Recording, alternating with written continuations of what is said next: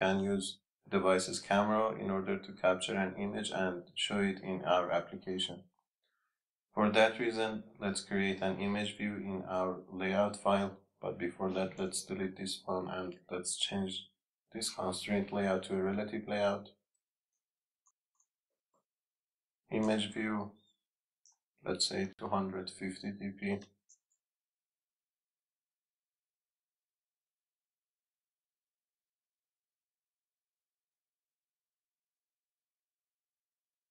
Let's also initialize this uh, image view in our main activity.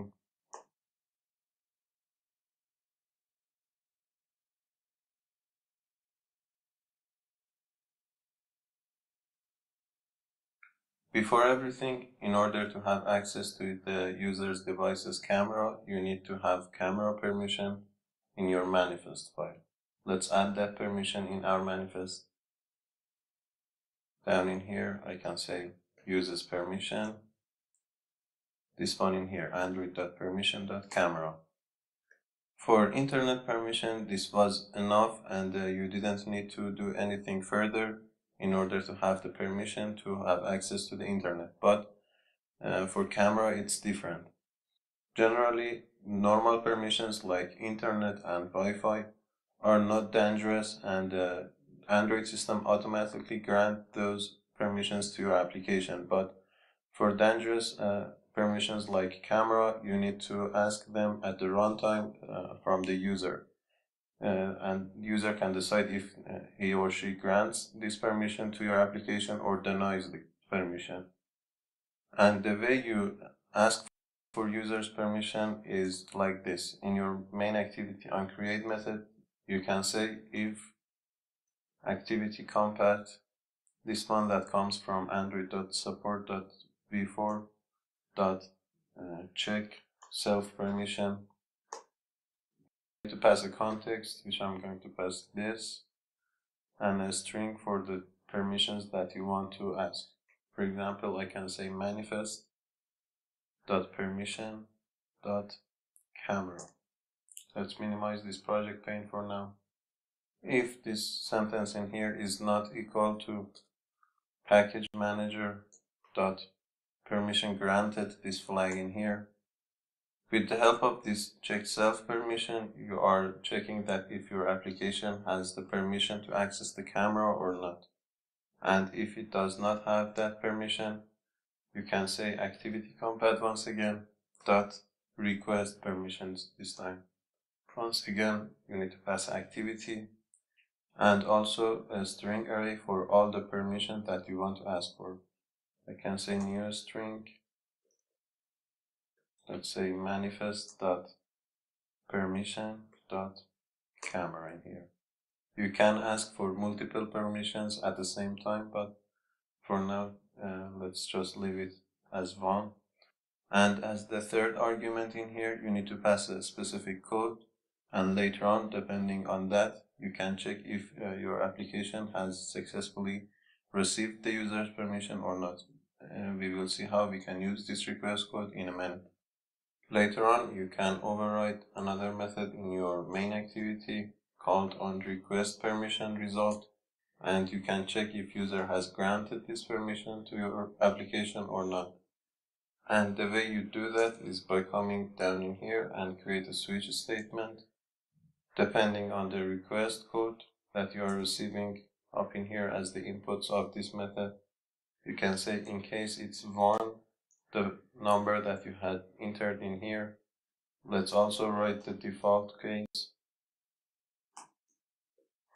In case it's 1, I can say if grant results, this one in here, this uh, integer array list dot length is greater than 0 and if grant result dot first element is equal to package manager dot permission granted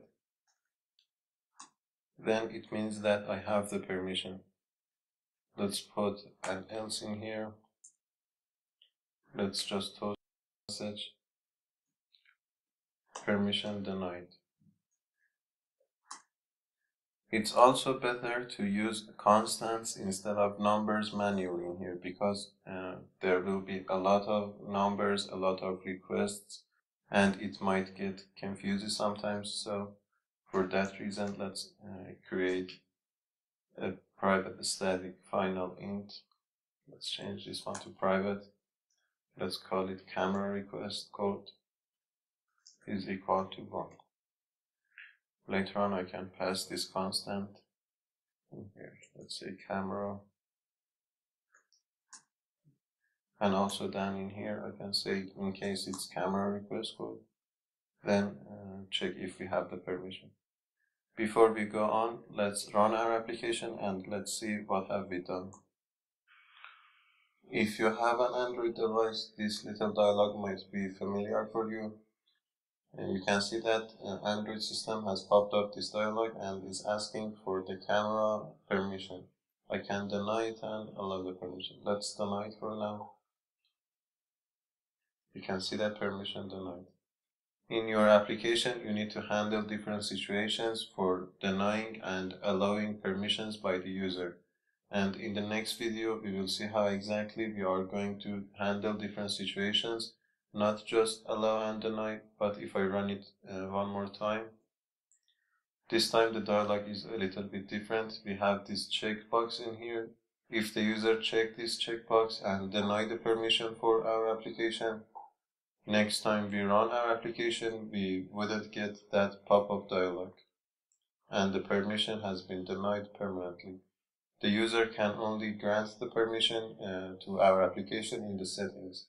In the next video, we will see how we can handle uh, this situation as well. But for now, let's just uninstall our application so that uh, we could see th that dialog next time we run our application. Okay, let's continue on with our code. But in case the user grants the permission to our application, how we can capture an image? Well, the way to do that is by coming to this if block where we are sure we had the permission. I can create an intent in here.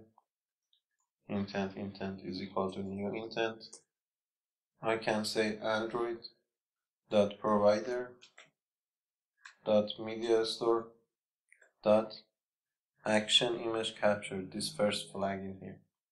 But as you can see, IntelliJ has changed my code to media store. It really doesn't matter at this point. Up until this point, all the intents that we have used were used to navigate the user from one activity to another activity, but this in here is a different format of defining a new intent. By this way of defining an intent, we are uh, setting an action for that intent. And the action in here is to capture an image. There are a lot of actions for different intents and we are going to know a lot of them in this course. But for now, uh, this media capture, as the name is descriptive, is going to capture an image for us. But another different in here is that up until this point, we always set start activity and passed our intent. But in here, we need the image that we are going to capture. So we need the result for that matter. I can say start activity for result this time this one down in here. Start activity for result and I can pass my intent this time. But that's not enough. You need to pass a request code as well because multiple intent can trigger multiple actions and later on all of these would be handled uh, in one single method. Let's add another constant up in here so that we could differentiate between different actions. Private static final int. Let's call it capture image is equal to 2, let's say. Let's pass this constant in here. Right now, if I open the application, if the user grants the camera permission, it would open the camera for the user. But uh, there's no way of uh, handling the image that comes back from the camera. And the way to handle that image is by overriding another method in your main activity called on activity result. This one in here. In here I can say if the request code is equal to the camera request or capture image, whatever that is. And also if the result code, this one that we are receiving from here, is equal to result OK or basically activity.result okay it's an inner constant just for indicating if we have any result or not if these two conditions are met then we can use this data item in here in order to save the image or maybe show that in our application and the way you do that is by creating a try catch and catch null pointer exceptions because a lot of things can happen during uh, capturing an image. For example, our application could be interrupted by a call or something, then we want to avoid these null pointer exceptions. v.print stack trace and inside this try block, I can say bitmap, bitmap is equal to data, this intent that we are receiving up in here, dot get extras, dot get with data string in here. But right now this onActivity result method has no idea of what this data could be. We need to cast this one to a bitmap in here as well. Then we can use this bitmap object in order to, let's say, show it in our application. For example, I can say image view.set image bitmap, this new method, we haven't seen this uh, before to the bitmap that we just created. Let's run our application and see if we can capture an image and show it in our application. Once again, it's asking me for the camera permission. Let's allow it this time. You can see that camera has been opened. But this is an emulator and it doesn't really have a camera it's just uh, simulating a camera. You can plug in your real device and run your application in that device. In that case, it would open your uh, real camera. Uh, I can capture a picture in here, and if I confirm it, it will navigate back to our application, and the image that we just captured is being shown to that image view that we defined here in our activity main layout file. But now that we have granted uh, camera permission for this application, this application would always uh, have that permission unless we uncheck uh, or revoke that permission from uh, the settings. Uh, for example, if I try running it once again, it's not going to ask any permission, but uh, because we want to open the camera in that case as well, we need to define an intent in here. In this if statement, we are checking that if we have the camera permission or not. And if we don't have that, we are going to request that. Else, if we have that, we are going to once again create our intent in here. New intent, media store, dot action image capture, start activity for result intent and our capture image constant. Let's try running it once again. Our application is opening the camera without asking for the permission. That seems fine. There are a lot of new topics in here. For example, this media image capture. It's basically coming from a content provider. We will be talking about content providers in two sessions from now. And uh, we will talk in details about content providers, what those are, how we can use them. Also, this um, bitmap down in here, it's a file and it can be up to two or three megabytes. And if you aren't careful about this bitmap, about the usage of it, it can really uh, occupy all the cache memory and maybe uh, cause memory leaks. We have dedicated an entire session about working with files as well, how we can use them, how we can convert them, rename them, maybe uh, convert them to a byte array, later on maybe upload them to our web server. But for now, we just uh, are going to use this one bitmap. It's not going to harm our application in any way. And also uh, the other topic is these permissions.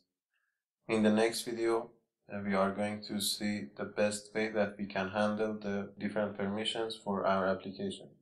If the user grant the permission, if deny the permission, if deny permission permanently, and if our application depends on that permission. We are going to handle all of those situations.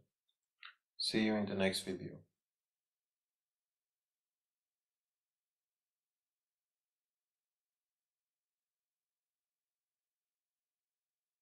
In the previous video, we have talked a little bit about permissions in Android. Let's talk a bit more about them. As I said at the previous video, for some permissions like internet permission, you just declare them in your manifest file and Android system will automatically grant those permissions. These are called normal permissions. If you want to take a look at all the normal permissions, you can check this webpage at Android developers official website basically uh, things like Bluetooth, NFC, uh, even network states and all sorts of permissions that you can see in here all are normal permissions and will be automatically granted by the Android system. And the reason that Android system automatically grants the user and uh, doesn't prompt uh, anything to the user is that because these are basically safe permissions and they don't endanger the user's privacy make sure to check this list uh, at all times because they keep updating this list. They sometimes delete uh, some of the permissions from this list and also add uh, some to this list. So make sure to uh, check it regularly. It's also a good time to say that permissions in API level 23 and lower were asked at the installation time. But uh, since API 23 and higher you ask the permission at the runtime like we did in the previous video. But no need for you to be worried about that by using that activity compat that we have used in the previous video. Android system will handle the compatibility between different versions of API. But let's talk about how exactly we are going to handle permissions in Android system. Well, this is the kind of behavior that we might want for our applications. For example, when I click at this take photo, Simply we are going to ask for the user's permission. If we deny the permission, we will keep asking the user until the user grant the permission or check this uh, checkbox in here and deny the permission for our application. But we are not done. This element in here is a snack bar. We haven't seen this in uh, the course up until this point. It's basically coming from design support library and we are going to use it in this video. When the user check that checkbox and deny uh, the permission for our application, we are going to show a snack bar which has a button in here. If I click on this grant permission, it navigates us to this page in the application setting, which you can click on this permission and grant the permission from here. If the user don't grant the permission uh, from here and goes back to our application, once again, we are going to show the snack bar. And if the user grant the permission from here and go back, then we are going to open the camera. This is the exact kind of behavior that we need for our application if our application depends uh, on the permission. Okay, let's implement this behavior in our application. First of all, let's create the layout file, resources, activity main, constraint layout to relative layout. Also, I'm going to give an ID to this relative layout. Later on, we will see how we can use this. I'm going to simply uh, give it an ID of parent. Let's delete this text view and add our image view and our button.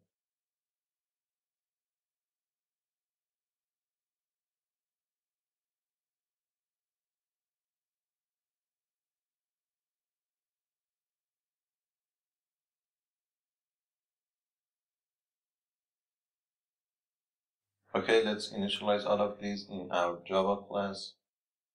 In the previous video, we have checked and asked for the permission in this onCreate method, but that's not a good point in this application because you only want to ask for the permission when your app needs it. And in this application, we want uh, the permission when we click on the button. So let's check and ask for the permission in the button on click listener. I can say btntake dot set onClick listener, new onClick listener. Like in the previous video, I can say if activity compat dot uh, check self permission as the context, main activity dot this, and also manifest dot permission dot camera if it's not equal to package manager dot permission granted. In here, I'm going to use another method called activity compat dot should show request permission rationale in here. Let's pass the argument and we will talk about it. First of all, we need the activity, main activity dot this, and also the permission, manifest dot permission dot camera. Let's also add an explanation mark in here. If not, should show request permission rationale. But what is this long named method? Well, the request permission rationale is that exact dialog that we have seen. We are checking that if uh, we can uh, show that dialog or not. For example, we have seen that uh, if the user checked that checkbox and uh, denied the permission, we wouldn't be able to uh, show that request permission rational or show that dialog. If we are not able to uh, show that dialog, we are going to show our snack bar. But first of all, let's create uh, the else in here. If we can show, simply we are going to say activity compat dot request permission main activity dot this new string manifest dot permission dot camera and also request code. Let's create the request code up in here. Uh, private static final int. Let's say camera permission request is equal to one. Down in here, let's pass that constant. So to have a quick review, if we can't show that dialog, we are going to show a snack bar, but if we can, we are going to uh, request for the permission. For the snack bar, we need to implement design support library in our application. So let's do that. You can find its dependency from Android developers official website. Let's copy it in our Gradle file.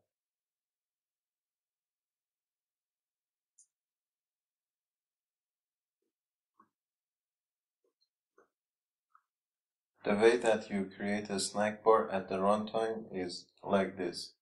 In here I can say snack bar dot make and here is the part that uh, this parent is going to be useful. The ID that we have give to our relative layout. We need to pass it in here as the parent view. Then I need uh, a text in here which simply I'm going to say uh, this app needs camera permission then after this, I need to uh, specify the time that I'm going to uh, show my snack bar. As you can see in here, the first one is length indefinite. It will uh, indefinitely will be on the screen unless we uh, set an action for our snack bar. Like toast, we have uh, long and short in here as well. Okay, let's select this indefinite. Let's also uh, set an action for our snack bar. I'm talking about that pink text that you have seen a few minutes ago. As its text to say uh, grant permission and also we need a new onClick listener. First of all, let's show our snack bar. Inside this onClick, I'm going to create an intent that would uh, navigate the user to the application setting page. And the way you can do that is by creating a new intent and set its action to uh, settings dot action application detail settings. Once again, it's uh, coming from a content provider. We will be talking about content providers in future videos. Also in here, we need to uh, say intent dot set data and we need to pass a URI in here. We will be talking about URI in the content provider session but basically URI is the address of our application in the Android environment. Actually, if you want to have a better uh, idea, URLs uh, like different web page addresses are a kind of URI and it contains uh, different parts like the HTTP part. But of course, in the URI that I'm going to pass in here, we don't have a HTTP or something Don't worry about the concept of URI. We will be talking uh, in detail about this URI in content providers uh, session. I can say URI.parse. We are going to parse a text in here. First of all, I'm going to say uh, package with a column and uh, plus get package name. This text in here will be uh, parsed to the URI that will contain the address of our application and will navigate the, the user to the settings uh, page in the devices setting. Then I can say start activity and pass my input. Let's also override the on request permission result method and test our application. On request permission result, like previous video, I can say switch on the request code in case it's camera permission request. We can say if grant result dot length is greater than zero and also grant results with a zero index is equal to package manager dot permission granted. It means that we have the permission we can create our intent and uh, navigate the user to the camera or open the camera application. Media store dot action image capture start activity for result and pass our. And also we need a request code in here. Let's create that request code up in here. And also let's pass it down in here. But if we don't have the permission, in else case, once again, we are going to check that if we could show uh, the request permission rational or not. If we uh, can't show that, simply we are going to request for the permission, but if we cannot, we are going to show our snack bar once again. So I can copy this logic from here and copy it uh, in the else case. Okay, let's override the onActivity result method and uh, set the image for our image view in there. Like the previous video, I can say if request code is equal to image capture request code and also if the result code is equal to result okay. Sorry, I need to change this one to result code, not request code. If these two conditions are met, I need a try catching here, which will catch the null pointer exceptions. e.print stack trace. I can say bitmap. Bitmap is equal to data. I can say data dot get extras dot get. I can pass data uh, as the key, and also I need to cast this one to a bitmap. After that, I can say image view dot set image bitmap to the bitmap. The final step in here is to add the permission in our manifest and run the application. Uses permission, camera permission, and let's see if we are doing fine. This is the first time that I have run this application and if I click on take a photo, I think uh, I have the wrong condition in here because it should show us the dialog. Uh, in here, I think I need to uh, delete this explanation mark. I'm sorry about that. Take a photo. Yes, it is working fine. We just needed to uh, change the condition in here. We didn't need the explanation mark up in here. Okay, if I deny the permission in here, we are uh, seeing the grant permission snack bar. If I click on this grant permission, we will be navigated back to uh, the application setting permission and I can grant the permission from here. If I grant it and go back to the application, if I uh, click on take a photo, uh, seems like nothing would happen and the reason is in this uh, BTN take I never uh, created an intent to open the camera. In here we are checking uh, that if we have the permission, if we don't have it, uh, we are asking for the permission, but I need to write an else block in here and create my intent to open the camera.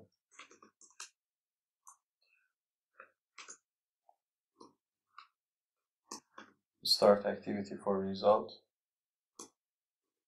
intent, and our image capture request code constant. Let's try running it once again. Now our application has the permission, so it shouldn't request for one.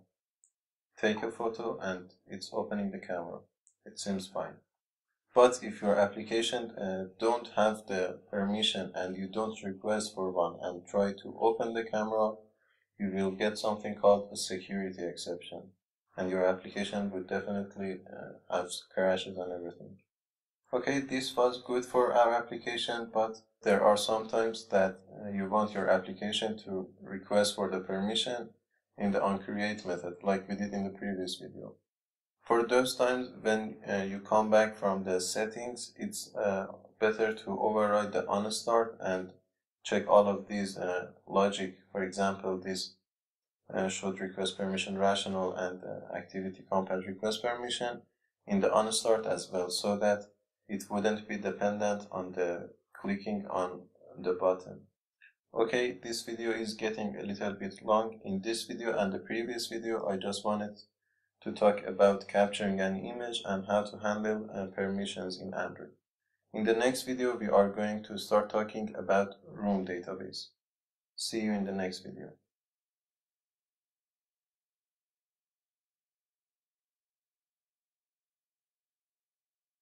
Up until this point in this session, we have learned about different SQL commands. Also, we have learned how to implement the SQL database in our Android application. We have learned how to insert data to the database, how to read data, how to update and delete data. And also we have learned how to upgrade our database. But now let's talk a bit about something called Room Database. Room Database is a part of something called Android Architecture Component. Those are a set of libraries that would help you to have a solid, understandable, and bug-free application. We will be talking about the architecture in an entire session in a few sessions later, but for now let's talk about Room Database. Room Database is a wrapper around the SQLite database and uh, it has a lot of benefits compared to SQLite. One of its benefits is that if you make some mistake at uh, creating tables and also inserting data at the wrong table, you would get a compile time error and not like SQLite at the runtime error that would cause your application to crash. The other benefit is that Room Database works greatly with other components of Android architecture components and later on in the future sessions we will see how we can integrate uh, with different components of Android architecture components. And also Room Database works greatly with uh, live data. We will be talking about live data in few videos later, but for now you just need to know that live data is very useful when, for example, uh, some changes happen to your database. For example, if you update some records in your database, you don't need to listen for those changes in your database. With the help of live data, the views that are using uh, those live data would automatically update. Also, live data is a life cycle level and you don't need to be worried about uh, things like different configuration changes like rotating the device and everything. Let's talk about live data in few videos later in its own place, but for now let's talk about room database. In a room database, instead of tables, you create new entities. Basically, entity is a Java class which is annotated with the keyword entity. You define an entity exactly as you defined a POJO object. Also, in every room database, you have an interface called DAO or data access object related to every entity that would handle the operations that you want from your database. For example, if you want to insert, update, delete, or query your database, uh, you can use uh, those DAO or data access objects. All of these interfaces and uh, entities would come together in a class that would extend from room database and that would be our uh, applications database. Okay, instead of talking, uh, let's implement the room database in our application. Let me close this project and start from the beginning because uh, we are going to need Android X in this video. In the latest version of Room, uh, you can only work with Android X. Close this project, create a new one, empty activity, check this Android X first thing, uh, let's call our project room database. When your project is successfully built, it's time to get the room dependencies. You can find them by saying room database dependency. The first link is probably our needed link. You can see the dependencies in here, but all of them are not necessary. For example, this one is for Kotlin, this one is for integrating with RxJava, this one for Java, and this one is for testing. But uh, the ones that we need is uh, these two in here, the room itself and its annotation processor. Also this uh, variable in here, we need that as well. Copy them into your Gradle file and sync your project.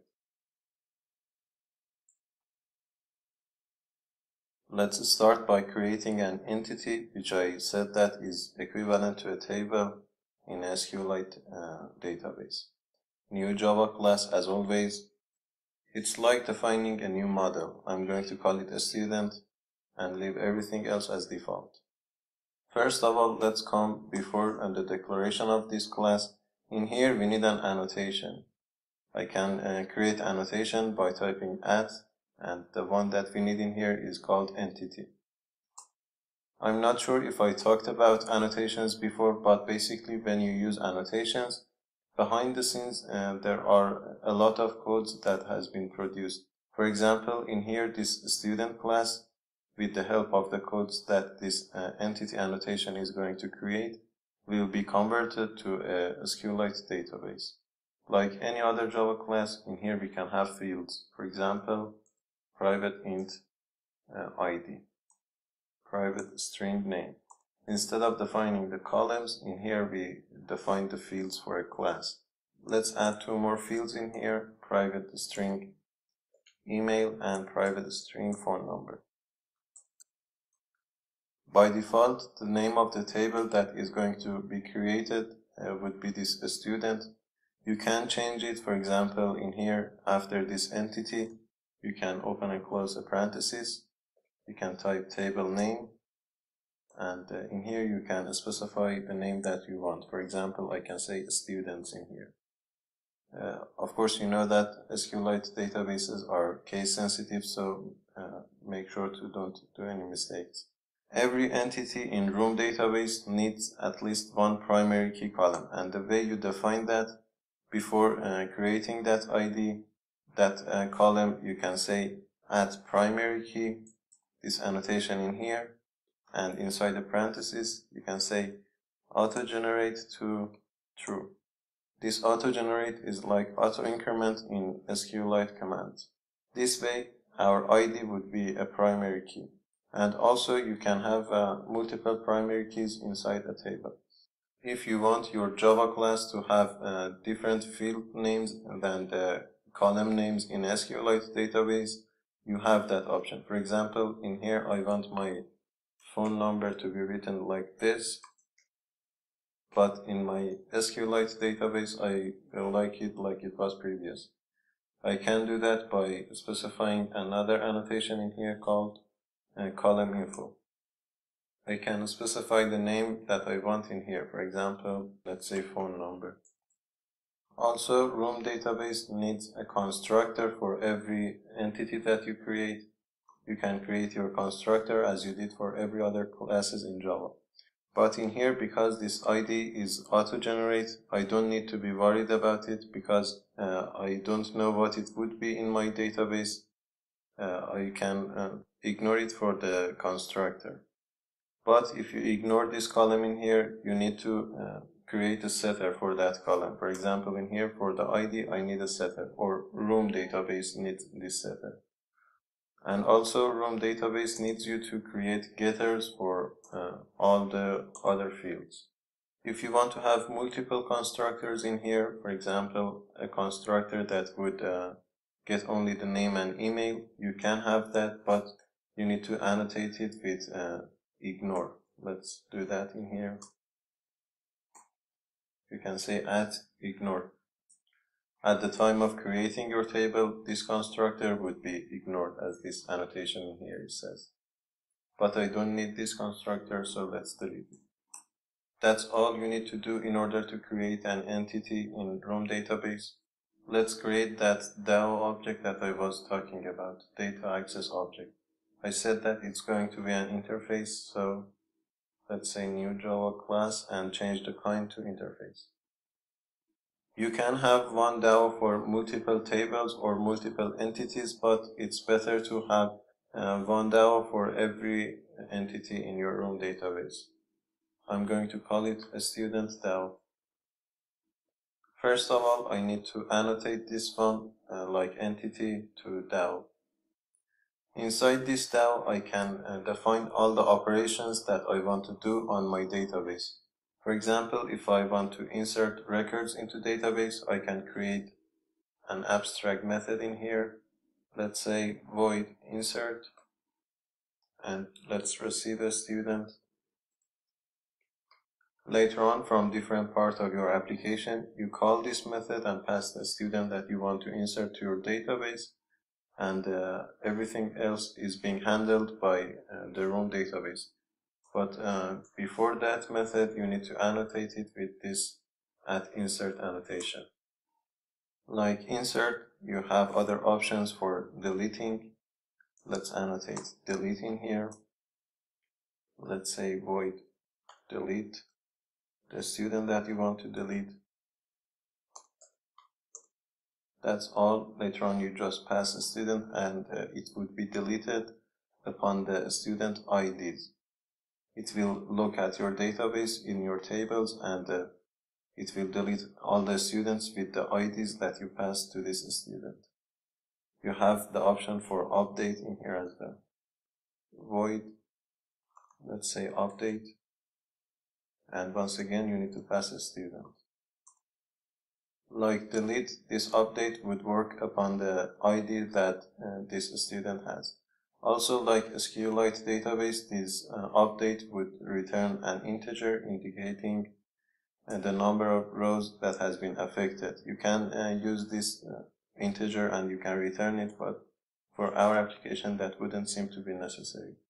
But the main part of every DAO object is annotated with this at query. This is where the magic happens. You can say a list of a student the return type, let's call it get all students, call our method.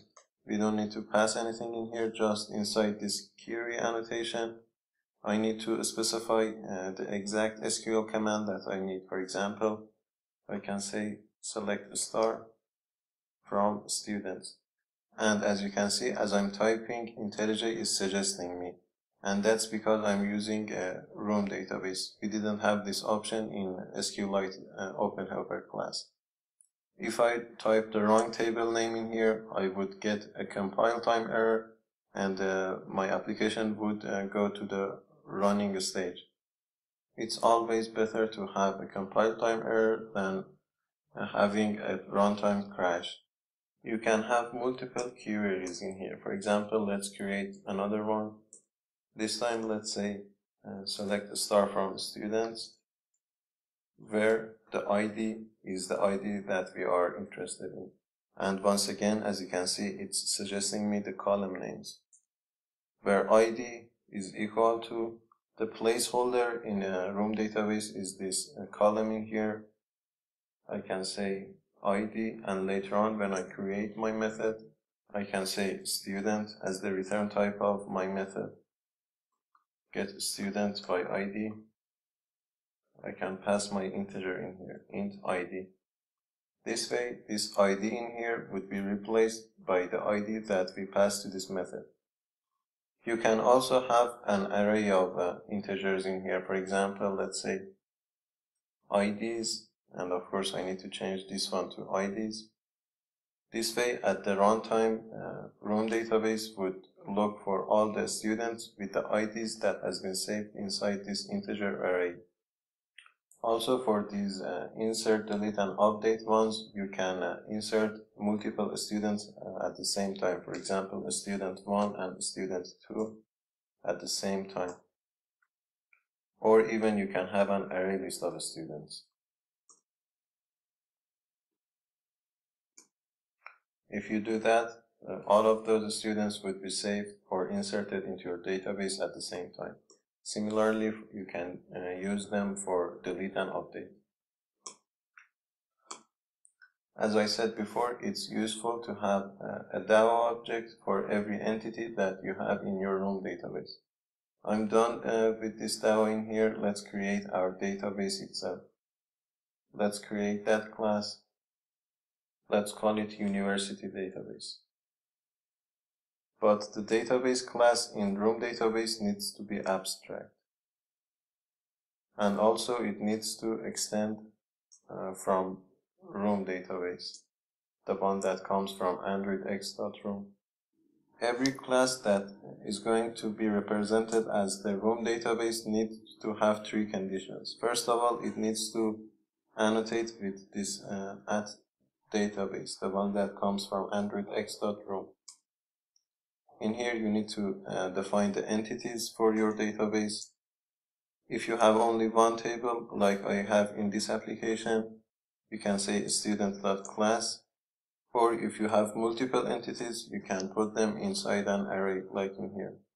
Let's add the student class in here as well. And after that, you need to define a version for your database, like in a SQLite database. For now, I'm just going to put one in here. The second condition is that your class to be abstract and extend from room database. The third condition is that in every database, you need a, a public abstract method that would return the DAO uh, for every entity. I can say public abstract student DAO let's call it student DAO. It needs to be a method, so we need two parentheses. This is the third condition of every database. You need this as well. Also, probably in most applications that uh, are being executed at one process, you want your database to be singleton. I'm not sure if I talked about singleton pattern, but uh, it's useful when you want to have only one instance of uh, your class in your entire application. And this is the way that you implement the singleton pattern in your class. First of all, you need to create a private static member variable of the kind uh, of this class that you are in. For example, university database in here. Let's call it instance. Then you need a getter for this instance. Let's create one. But you need to change this getter a little bit. In here you can check if instance is null, it means that if it's the first time that you are calling uh, this get instance method, if instance is null, then create your instance of the database and uh, after that return the instance. But if it's not null, you are just going to return the static instance of the object. And because it is static, it would be same at all of your application. But right now, this method in here is not safe if uh, two operation from two different threads uh, call this method. And for your method to be thread safe, you can add a Java keyword in here called synchronized. We haven't seen this uh, keyword up until this point. It's basically useful when you want your method to be uh, thread safe. Also in this get instance method, we need a context. Let's receive that and we will see in a minute why we are going to need this. In order to create an instance of your database, you can say instance is equal to room dot database builder. We need to pass our context in here. Then we need to pass this class itself. For example, I can say university database dot class. And after that, I need a name for my database. I can say university database then you can simply call dot .build on this and uh, you have an instance of your database. But there are a lot of options that you have in here. For example, one thing that I'm going to talk about in this video is called uh, fallback to destructive migration. It's a weird name and basically migration means uh, that upgrade and downgrade that we have seen uh, in SQLite database. Whenever you change your database somehow, for example, add a column or maybe add a table to your database, you would upgrade or downgrade your database. This is basically uh, the migration. But what is this fallback to destructive migration? Every time that you upgrade or downgrade your uh, room database, you need to define a migration, which we will uh, do in the next video. But if the room database don't find the migrations, if you don't uh, add this method in here, uh, it would throw some exceptions. But if you do use this um, fallback to destructive migration, it will delete uh, all your database and uh, create it from the beginning. It's useful for the times that you want to avoid crashes and also you are not sure about your migrations. But it will delete all the user's data in the database. It means that it will drop all the tables and will create them from the beginning. So be careful about this fallback to destructive migration because if the user is saving uh, sensitive data into your database, if you use this, and if the user uh, update uh, the application and you had changed this version, all of the user's data would be deleted. So be extra careful about this one in here. There are a lot more functionalities in here. For example, uh, you can add some values or insert some records to your table at the time of initializing. Uh, but this video is getting a little bit long. Uh, let's talk about all of those in the next video. See you in the next video.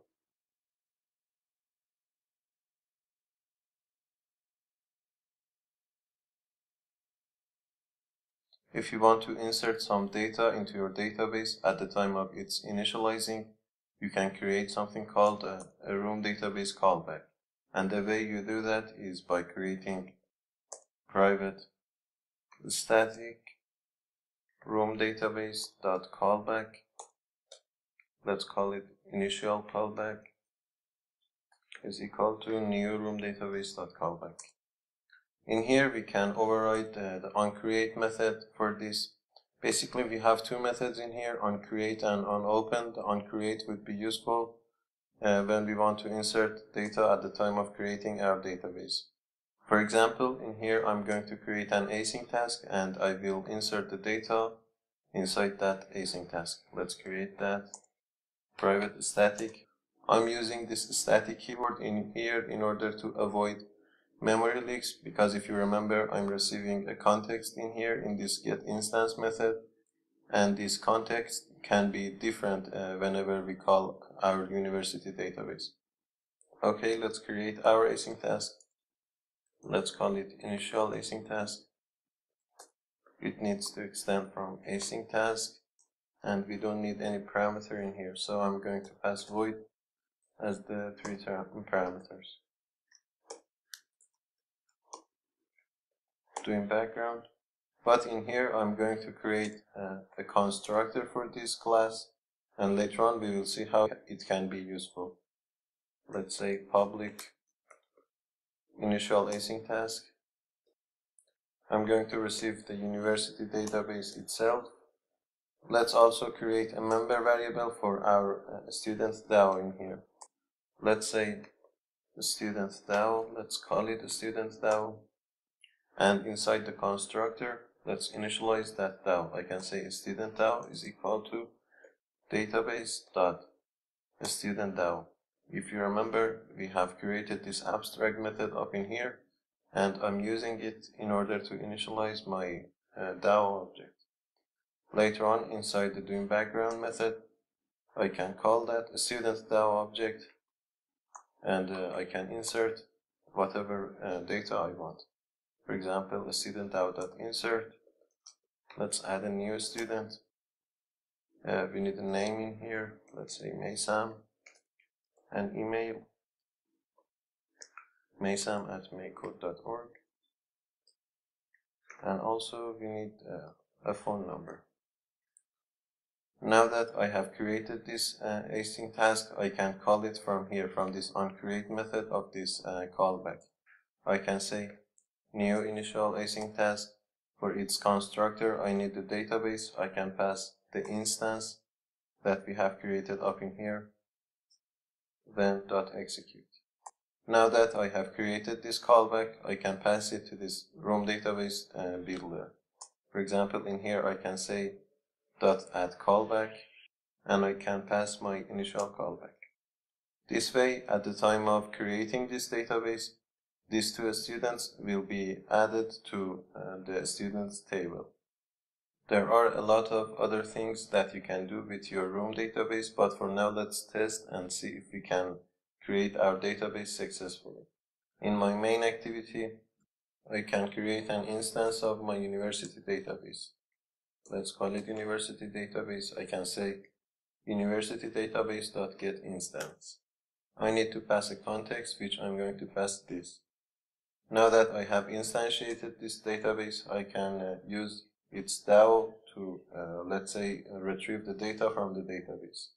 I can say list of all students, let's call it all students, is equal to university database dot student DAO dot get all the students. For example, let's toast the name of all the students that are being saved in our database. I can create a for each loop for a student s inside all of our students. Let's create a string uh, before this for loop. I'm going to call it a toast message. Later on inside the for each loop, I'm going to say toast message plus equal the student dot get name plus maybe a backslash n. After the for each loop, I can simply toast that message. But right now, if I try running this application, it will cause a crash. And the reason that it's going to crash is because I'm doing a database operation inside the main thread. Room database by default don't allow uh, any database operation in the main thread but you can overcome uh, that default behavior by adding another attribute in here, allow main thread queries. If you add this, uh, now you can query your database inside the main thread. But as I said previously in this session, it's not a good thing to do database operation inside the main thread. It's always better to create something like async task and do the database operation inside another thread. Okay, I think our application is ready to test, so let's run it.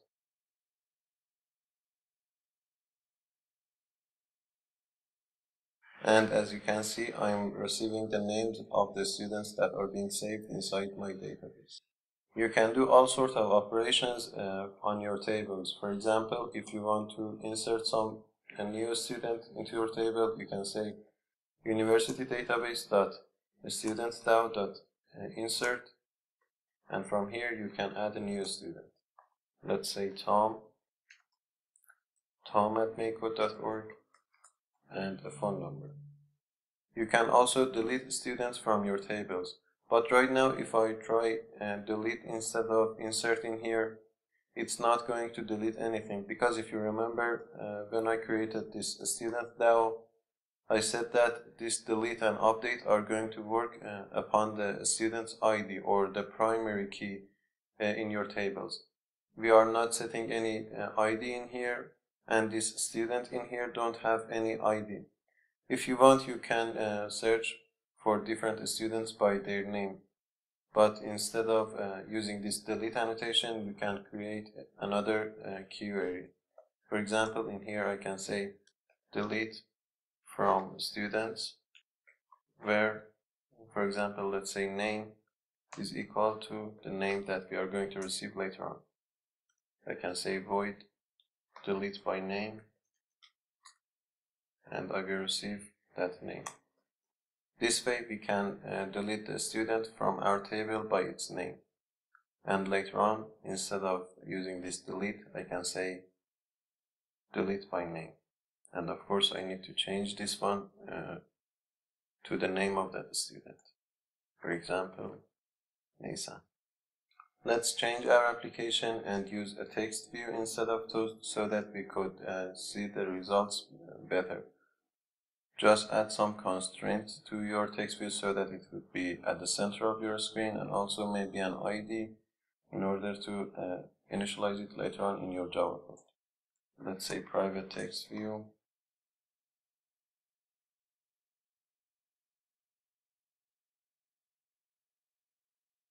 Now that we have our text view, let's uh, set its text to the toast message. Let's say text view dot set text to toast message. I don't need this one for now, but before retrieving all the data from our database, let's add two more uh, in students into our database. I can say university database dot student dot insert new student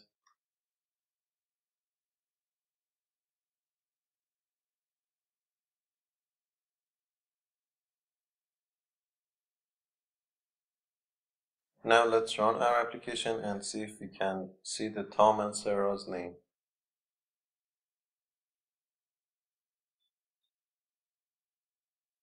And here they are. Let's try deleting Tom from our database. University database that the student DAO that delete by name. Let's say Tom. And as you can see, Tom has been successfully removed, but because we are doing it inside onCreate, Sarah has been added two times. Let's comment these two lines for now, and also maybe this one. And let's talk about migration in Room database. If you remember from the previous video, I said that migration uh, is like that uh, upgrade and downgrade methods in SQLite database. Whenever you are going to change the version of your database, you need a migration. And the way you create a migration is like this. You can say private static final migration, the one that comes from androidx.room.migration package. Let's call it migration uh, 1 to 2 is equal to new migration. Let's finish our sentence. Inside the migrate method, you can do all the changes that you need uh, for your database and also in here inside the parentheses I need to enter the old version and the new version of the database. For example, inside this migrate, I can add a column or maybe add another table. And uh, as you can see, in here I'm receiving a SQLite database, which I can simply say database that execute SQL. And in here I can enter my SQL commands. For example, I can say alter table students, add column, maybe a grade, integer. I have tried this migration a thousand times and uh, it seems like it's the weak point of the room database. Migration is not still perfect in a room database and right now if I run this application, but before that if I change the version to 2 and also add the migration in here, for example, let's say add migration to the migration that we just created. If I run the application, it uh, wouldn't work.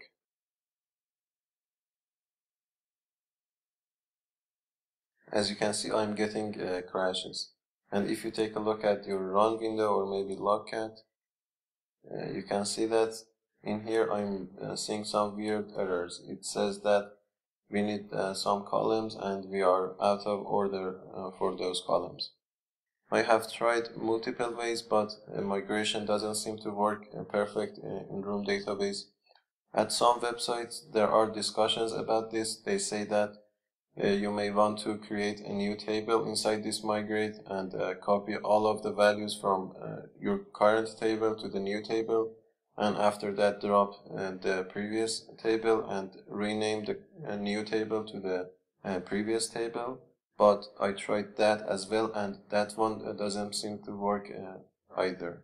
So I'm not going to discuss migration uh, any further.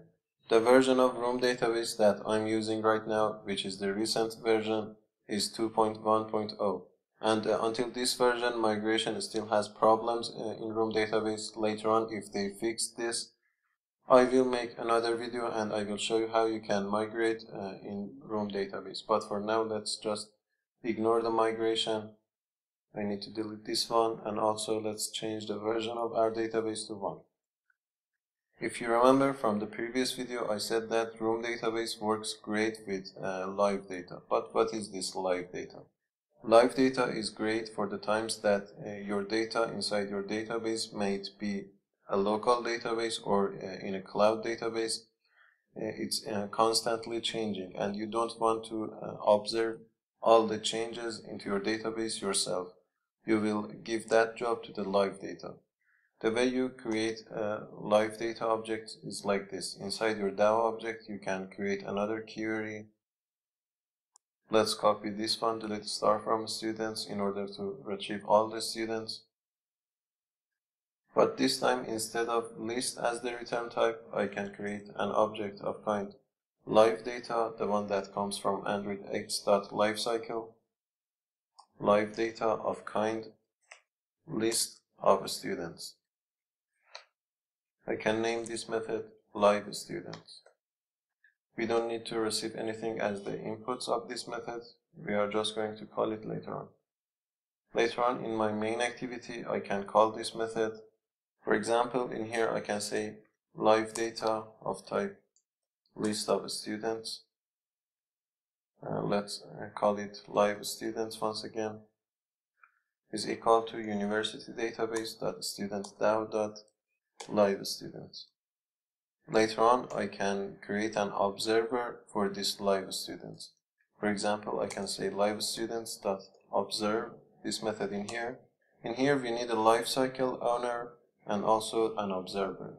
Most of the time, this lifecycle owner is the activity or the fragment and it's useful because uh, live data is uh, life cycle aware and you don't need to be worried about the different states of your activities or fragments.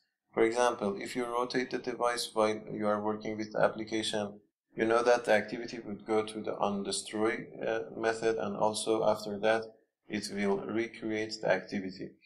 In those times, for example, when you use a text view, you need to uh, be worried about the data that are being fetched uh, to this text view. But for live data, you don't need to be worried about that because you are passing a lifecycle owner in here. It will handle uh, the lifecycle uh, configurations uh, by itself. In here, I can pass this as the lifecycle owner, which refers to the current activity, and also a new observer. When I pass this new observer, it will create this onChange method. As the name applies, it will be used whenever the data inside your database uh, will be changed. In this onChange method, I can create my for loop and I will uh, set the text of the text view inside that onChange method. Let's move it there. But of course I need to change this all students to the students that has been passed to this onChanged method. I don't need this all students list, so let's delete that. And also let's run our application and see if we can uh, retrieve the data from our database. As you can see once again, the data has been fetched uh, to the text view. But uh, later on after observing the live data, if I insert some new data to the students table inside my database, for example, if I say university database.studentDAO.insert,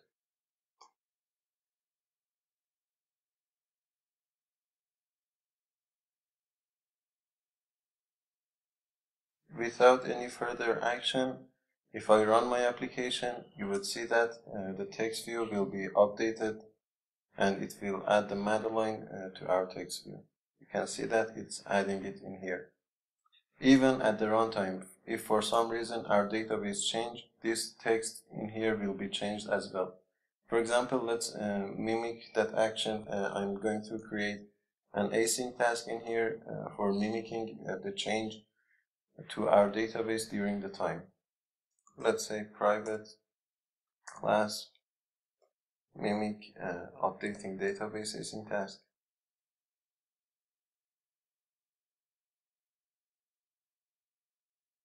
In this doInBackground, I'm going to create an array list of students and later on uh, we will see why.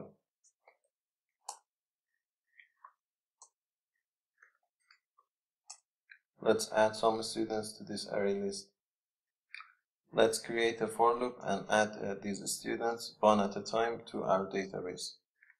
For student, s inside my students, uh, let's freeze our thread for one second.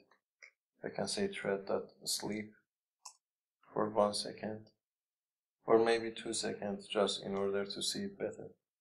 But as you know, we need to uh, cache the interrupted exceptions and after that I need to say university database but in order to access to my database I need to change this one to a member variable.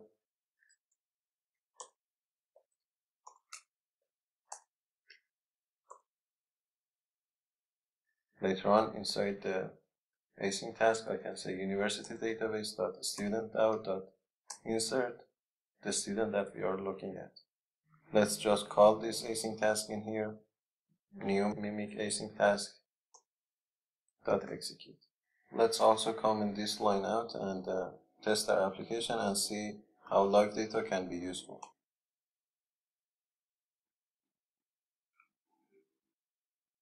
As you can see, my text view is updating every two seconds. That's the power of live data. Okay, I think that's enough for this video. In the next video, I'm going to talk a bit advanced uh, about Room database and all the capabilities that you have in a Room database. See you in the next video.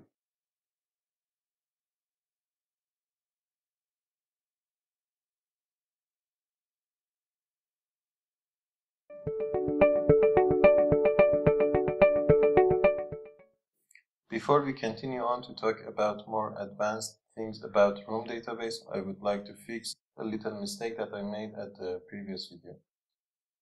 If you remember in my students DAO interface, in here I said that you can pass uh, an array of integers to your query uh, of your database, but this is not how you uh, pass the array of integers. You can say id in a parenthesis, and the placeholder of the IDs that you are going to pass later on. Okay, now that we have fixed this, let's continue on with our code. Like in simple POJO files, you can use compositions for different entities in Room database. Uh, for example, if you have a model for the student table and also that a student has an address which contains uh, maybe the street, the country, the city, you can create a separate class for that address and later on compose that address class inside the, let's say, student or user class. Let's create our address class.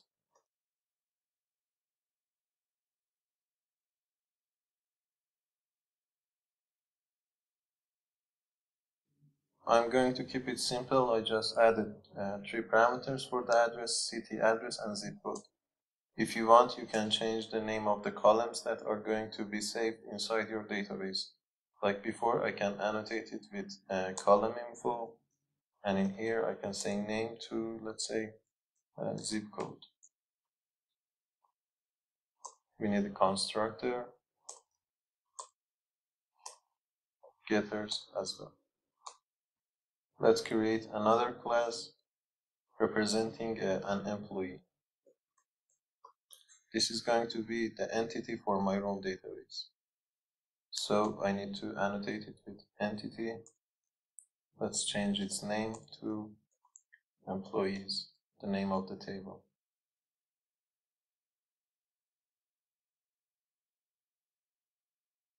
Once again, I'm going to keep it simple, so an ID, a name and email would be enough. And I can use the address in here as well, private address, address. I'm using composition in here, but if you want to use composition in uh, your entity, you need to add this annotation, this embedded annotation. This way, Room database will create related columns for uh, all the fields in here and also all the fields inside that embedded uh, class. Okay, let's create the constructor. I don't need the ID because id is going to be primary key and uh, auto generate so let's annotate that auto generate to true but I do need a setter for the id and also getters for all the fields. This was my entity. Let's create the DAO object. Let's call it employee DAO. It needs to be interface. It needs to be annotated with DAO. Let's create a method for inserting employees.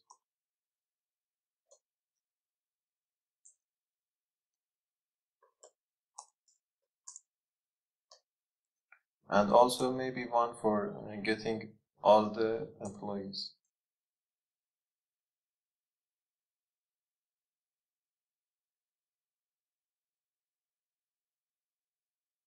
Let's create our database class. I'm not going to create a challenge video for the room database, so if you have any problem with room database, uh, you can watch this video. I'm uh, creating all the basic things that we have learned in the previous two videos. Let's call our class company database. It needs to be abstract. It needs to be annotated with at database. For the entities, I can pass my uh, employee.class. And also we need a version which is going to be one. Our class needs to extend from room database and also it needs to have a public abstract method which will return the DAO object. So let's say public abstract employee DAO. Once again, let's create the singleton pattern in here.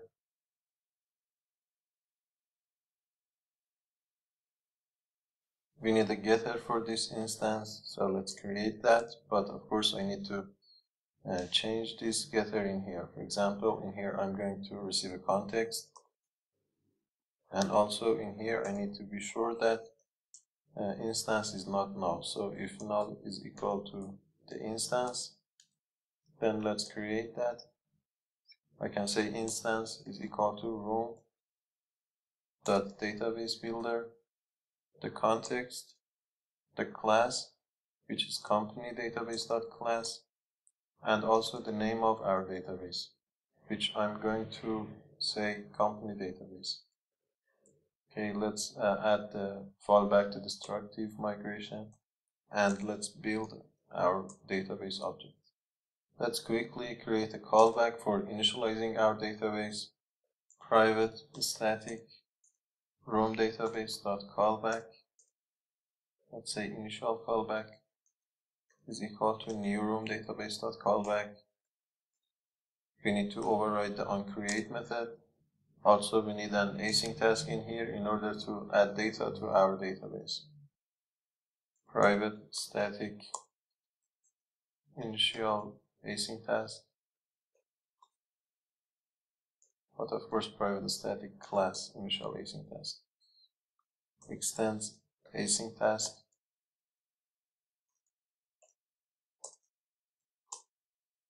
we need the doInBackground method. We also need the DAO object in here. Private employee DAO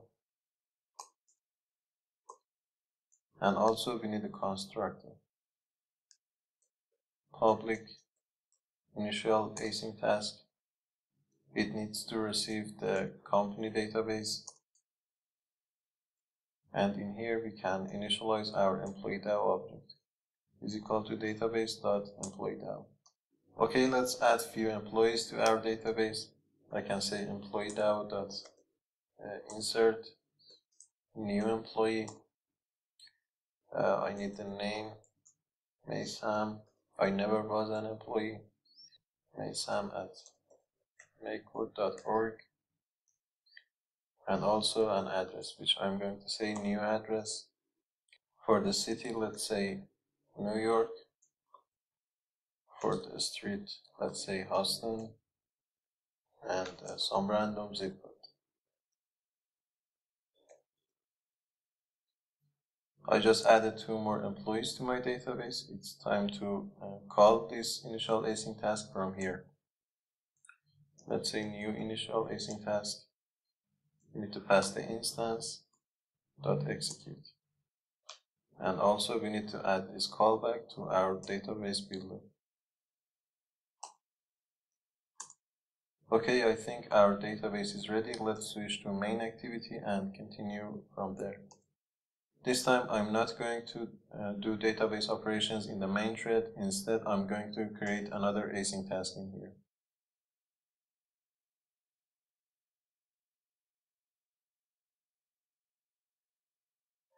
As the result of this uh, async task, I'm putting a string uh, and we will see why in a minute. Let's initialize our database.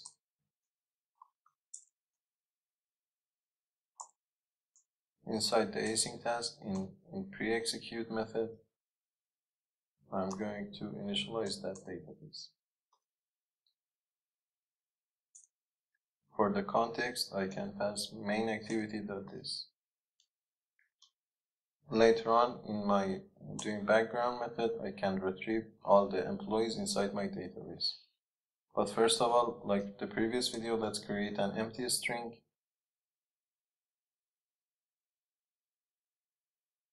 And after that, let's receive the list of the employees.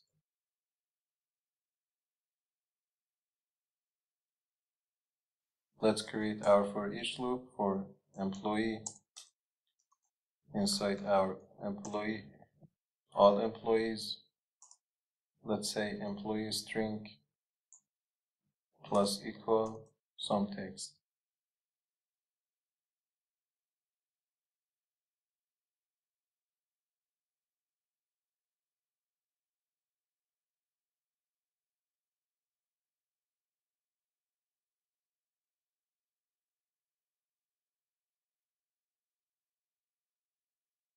After everything, you can return your employee string as the result of this doInBackground method.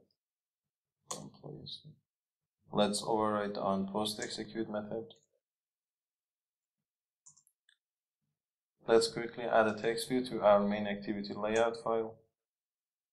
Or maybe we can use this one in here. Just I think we need to give it an ID.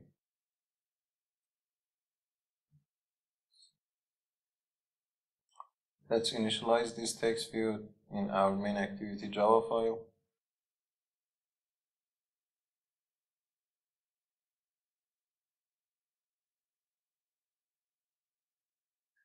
And let's set the text of the text view to the string that is being passed to this on post execute. Text view set text to s. I just need to uh, call this async task from my onCreate method let's say new database async task dot execute. Let's run our application and see if we have created our database successfully.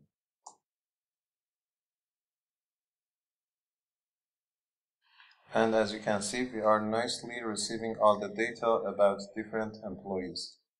Until this point, there was almost nothing new uh, in this video, just uh, the composition that you can use in an entity. But if you are using composition, you need to annotate the class with this add embedded.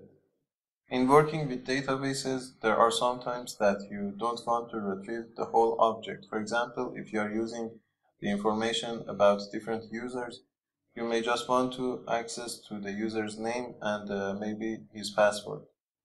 For example, in here, let's try uh, retrieving the data uh, from the database, but only the name and the email of the employee, but, and not the whole object. For that matter, you need to create another object. Let's create our class. I'm going to call it abstract employee. I can define as many fields as I want in here, but this needs to be synonym to the columns that you have saved your data inside the room database.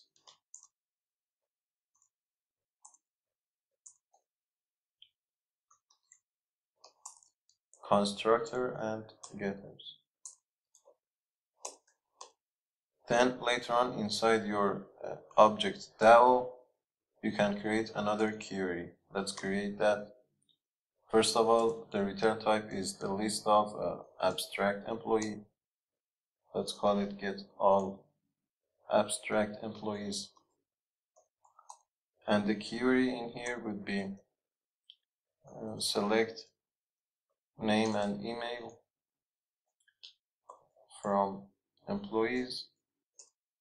And because we are getting all the abstract employees we don't need a where clause but of course you can do that let's test and see if this one uh, works as well. Inside our main activity inside the doInBackground of this uh, async task I can create another empty string.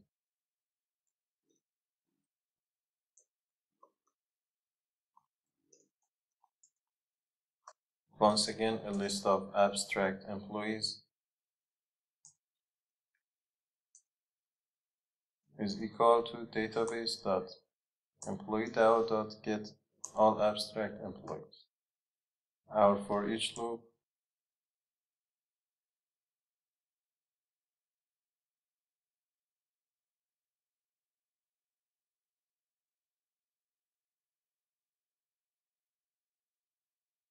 And after this for each loop, I can return this new string just to see that uh, this abstract class is working fine or not.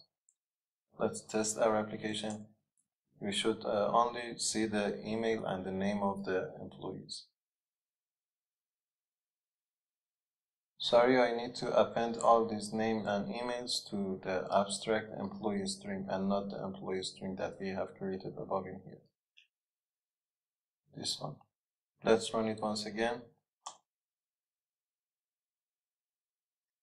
And as you can see, this time I'm only receiving the name and the email of all the employees inside my database. This was another topic that I wanted uh, to talk about, the abstraction when you retrieve the data from database.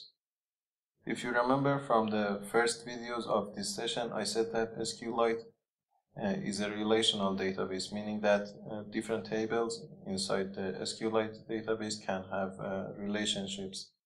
And uh, if you remember from two videos ago, I said that Room database is a wrapper around the SQLite database. But until now, we haven't seen the relationship between uh, different tables inside a Room database. Let's practice that as well. I'm going to create another entity in here called hobbies for different employees and we will see how we can relate two uh, tables together, the employee and the hobbies table.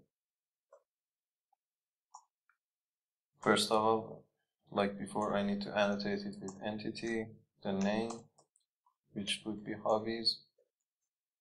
We need an ID in here, maybe an integer indicating uh, the hobby's popularity.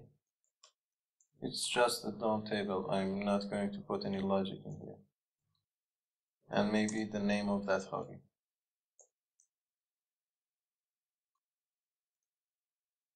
A quick constructor. Setter for the ID. Also, we need to annotate the ID with primary key and also auto-generate to true. We need getters for the columns as well. Let's quickly create uh, its DAO, but before that let's close all the tabs in here.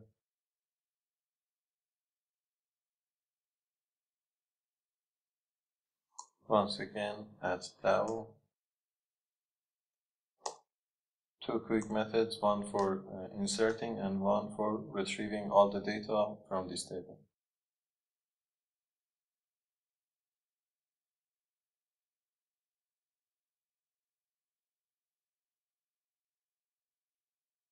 Also, I need to change my uh, database class as well. First of all, I need to add the new entity in here, which is hobby.class. And also, I need to create uh, an abstract method for the hobbies DAO. Let's quickly insert two hobbies uh, inside our database. In this uh, async task, I need the DAO, so let's say uh, hobbies DAO. I need to initialize it inside the constructor.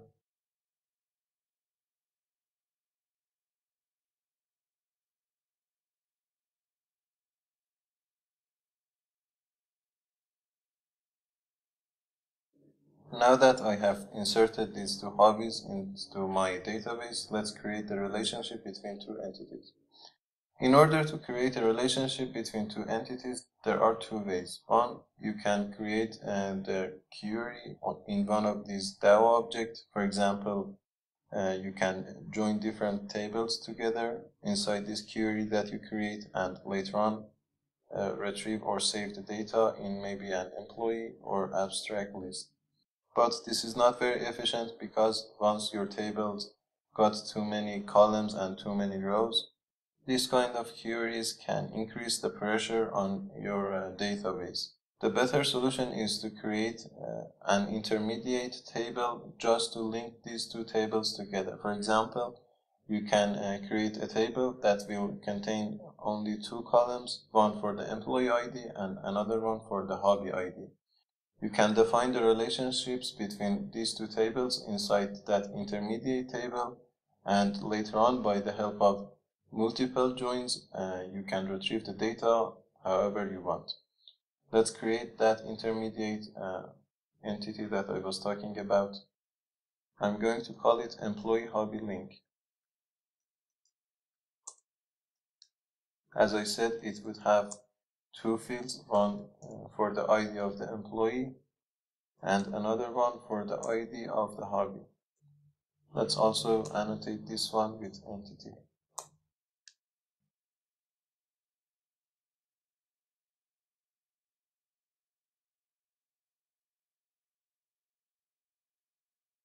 For the primary keys, I can declare them in here inside this uh, annotation parentheses. I can say primary keys. If you remember, I said that one table or one entity can have multiple primary keys. Let's define them. The first one is uh, the employee ID, and the second one is the hobby ID.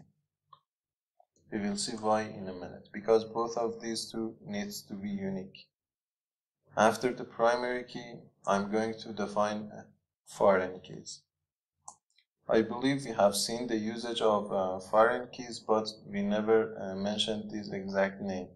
Basically, whenever you join two tables together, the first table's uh, column that you are joining is the primary key, and the second table's column is called the foreign key. For defining foreign keys, I need to have another annotation in here called foreign key. For every foreign key in here, I need the entity one for the employee entity, employee.class. I need the parent column in here, which is going to be ID inside our employee table. And also I need the child column, which is this exact table that we are in. In here, we know that ID is going to be equal to the employee ID. So let's add that we need another foreign key in here, but in order to uh, add multiple foreign keys, you need to put them in a pair of uh, curly brace. Okay, let's add the other foreign key. Once again, annotate it with foreign key, the entity, which is going to be hobby.class. Like before, we need the parent columns, which is going to be ID and also the child column, which is hobby ID in this table, this one. It may seem a little bit confusing, but basically we are creating an intermediate table just to link uh, two tables together. Inside this intermediate table, both of the columns are uh, primary keys because they need to be unique. For the foreign keys, first of all, we need to define an entity. Then we need to define the parent columns, which is uh, coming from the entity class, and also the child column, which is coming from this intermediate class. You can define as many foreign keys as you want. If, for example, uh, you are linking maybe three or five tables together, you may have uh, five different uh, columns in here and uh, you can have five different foreign keys in here as well.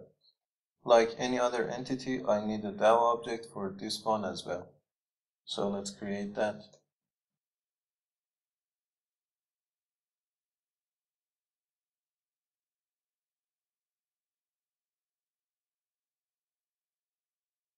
Before we continue on with this DAO, let's add this new entity to our database and we will be coming back to this uh, DAO object that we just created. Let's add this entity to uh, this database in here.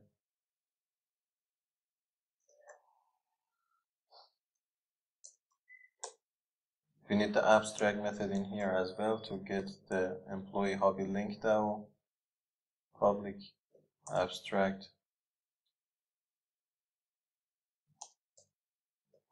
and if we want to insert uh, data into this table we need to uh, do it inside the, this async task as well.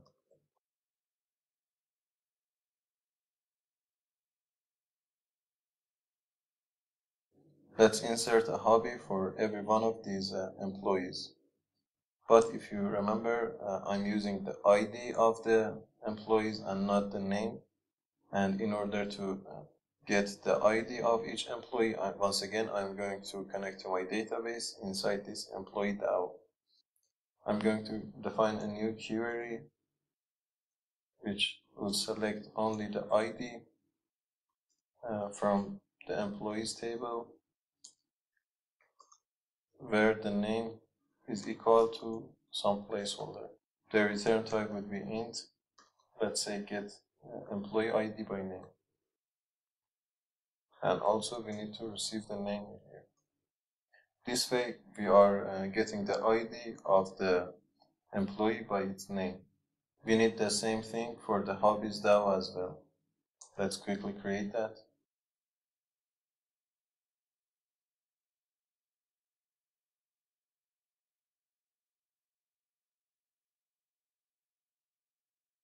Now that we have added these two uh, methods to our interfaces, let's go to our database class. Inside the doInBackground of the async task, I can say uh, employee hobby link DAO dot insert new employee link employee hobby link. I need the employee ID first. Let's get that from the employee DAO object dot get employee ID by name or let's say Mesa. Let's minimize this project panel for now. And also we need the hobby ID as well. Let's get that from the hobbies DAO. Let's get hobby ID by name for let's say soccer. The same thing for the other two employees. Now that I have inserted the data inside this intermediate class, uh, let's create our query inside this DAO object. For example, let's retrieve all the employees that their hobby is jazz concert. First of all, let's create a list of employees. Let's call it get jazz lover employees. For the query, I'm going to use multiple joins in here. Let's say employees dot id and also for all the other columns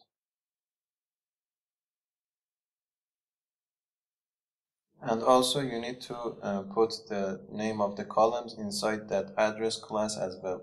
It doesn't matter if you have used uh, composition or not. The name of the columns are going to be the name of the fields that you have defined uh, in your classes.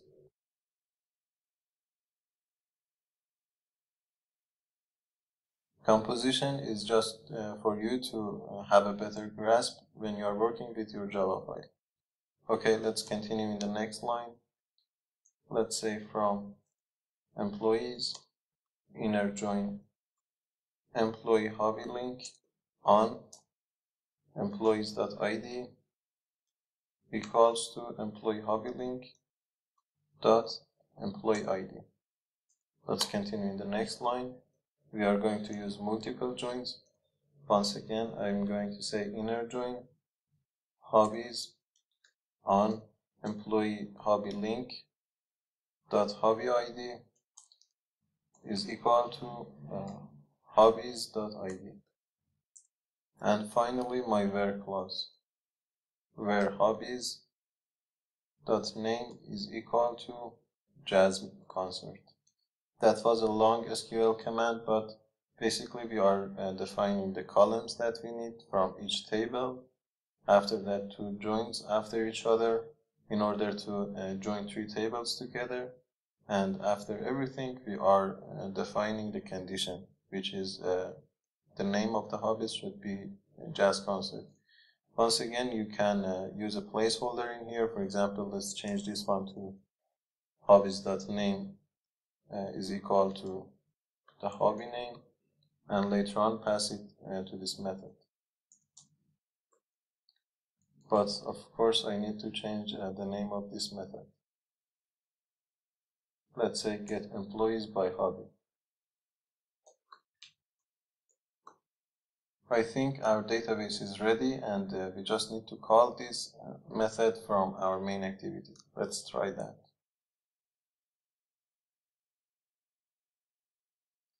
Inside this doInBackground uh, of the async task in my main activity, first of all, let's comment everything.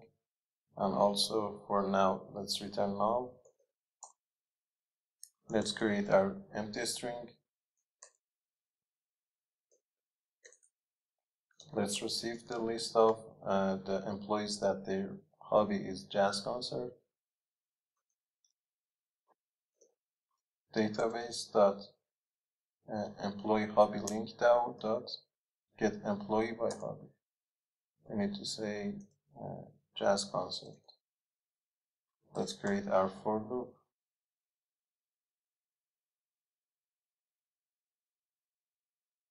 I'm just creating this text uh, to show the name, email, and address uh, of every employee that we have retrieved from database.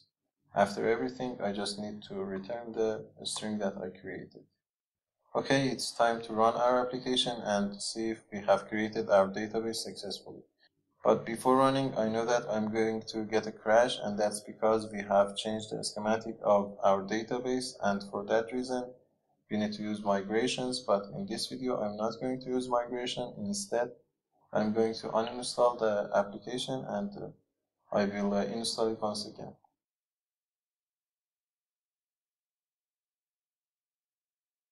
And as you can see, uh, we are receiving Tom and Sherlock, which their hobby was a jazz concert. If I change this one to maybe soccer, we should only receive Mason. It's working perfectly. Okay, I think this video is uh, getting too long. Uh, in the next video, I'm going to start uh, working on the challenge. If you remember from previous sessions when we created uh, our second major application, which was called online grocery application, in that application, I have used shared preferences instead of databases. In there, I said that when we have learned about database, uh, we are going to uh, have a quick challenge and change the shared preferences into uh, database. In the next video, we are going to start work on that if you don't have access to that project, don't worry. In the next video at the beginning, I will tell you how you can uh, download and clone the project from my uh, GitHub page. See you in the next video.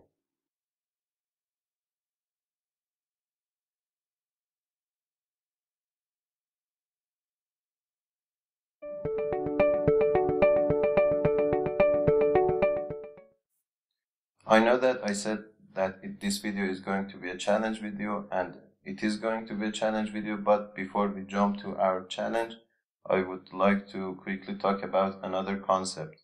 Normally you can't save complex data like an array list of objects in room database. In order to save uh, complex data like an array list of objects into your room database, you need to create something called a data converter.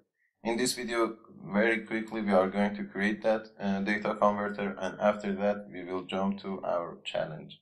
For example, in this simple project, I have created a simple student object which has only a name and email and also I have added uh, the room database and also JSON library into my dependencies. We will see how we can use them in few minutes. In order to create a, a data converter, we can create another class in here. Let's call it data converter. Because room database don't allow us to save complex data into tables, The purpose of this class would be to uh, convert the student class into JSON object and later on at the time of retrieving, convert the JSON file to the student object.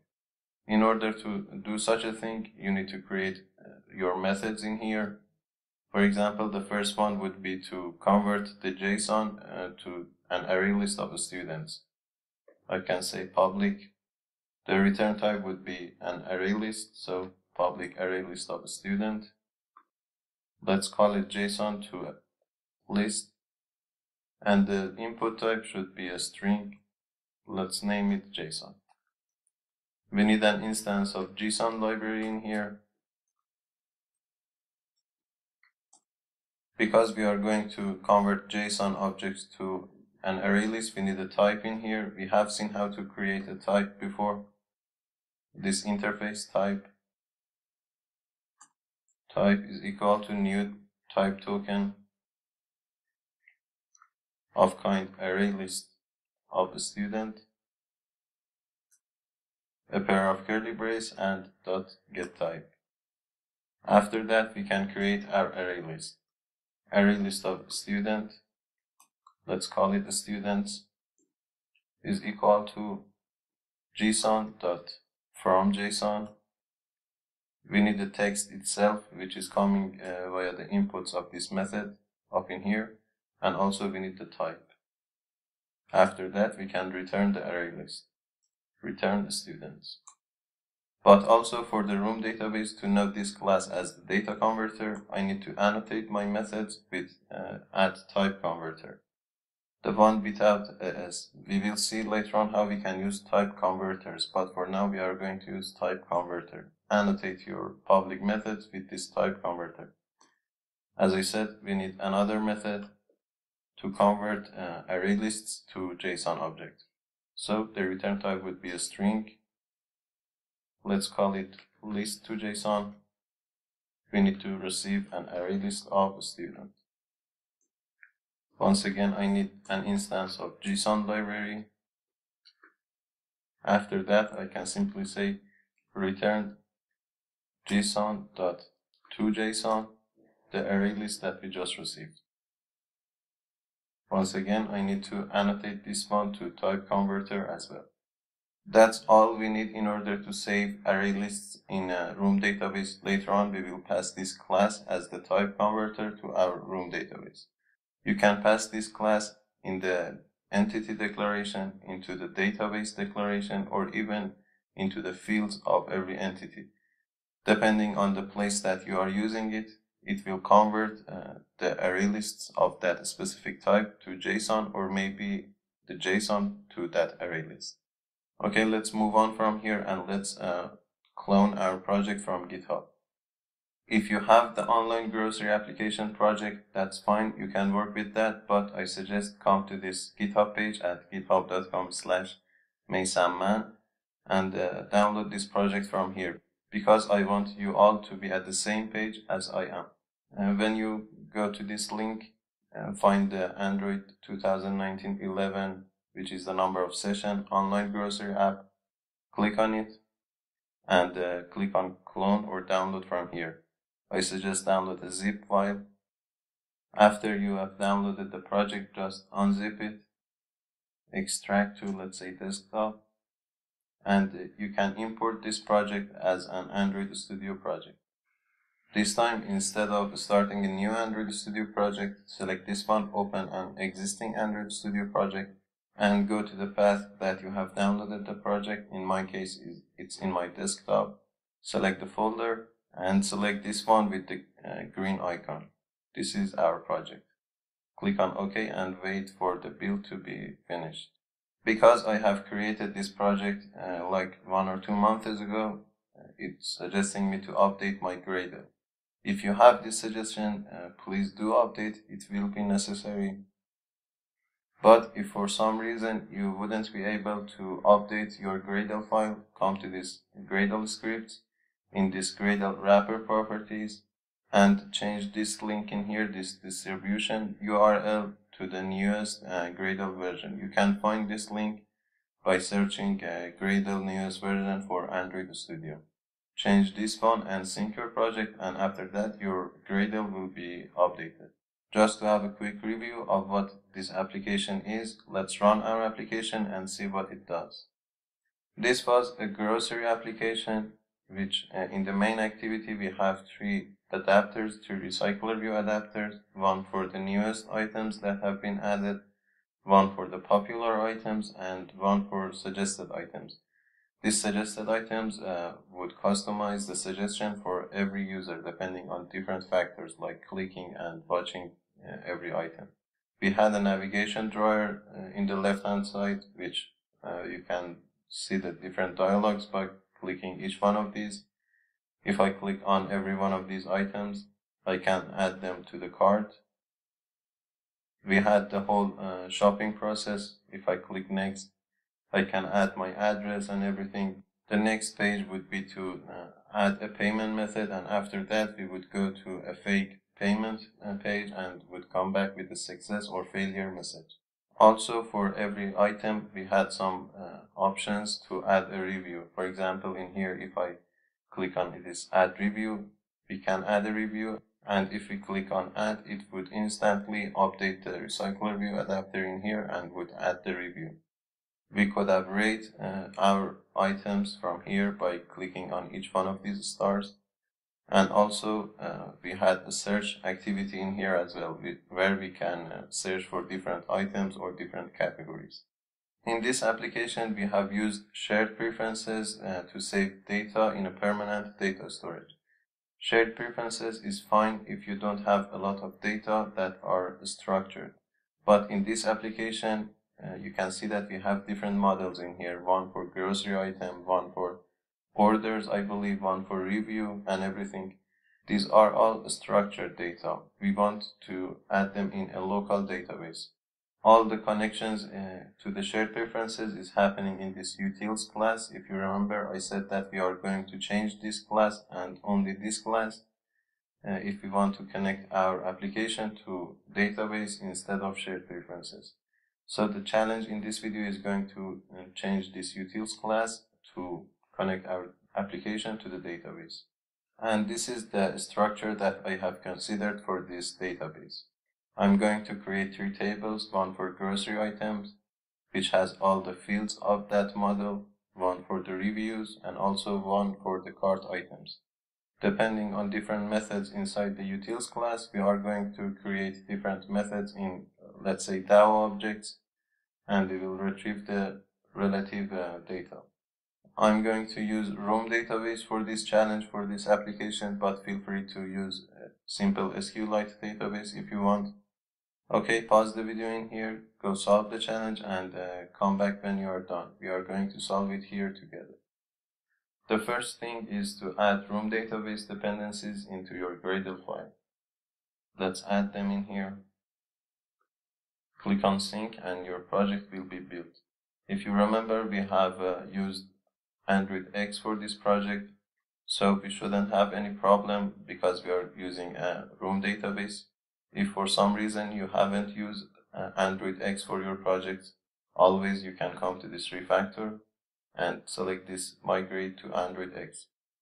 Okay, let's start by changing our models. We need to uh, define them as the entities for our Room database.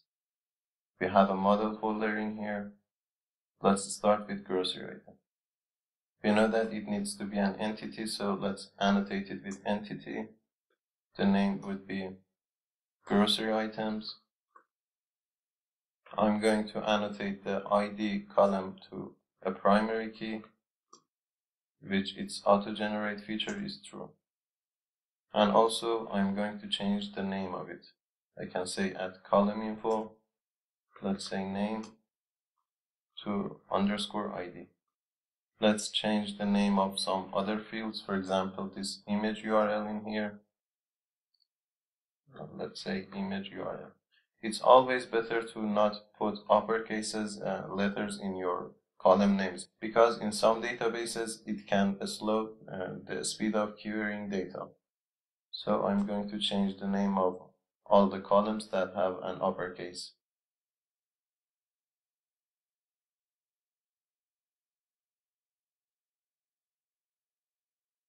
You can see that our model has an array list of reviews as one of its fields.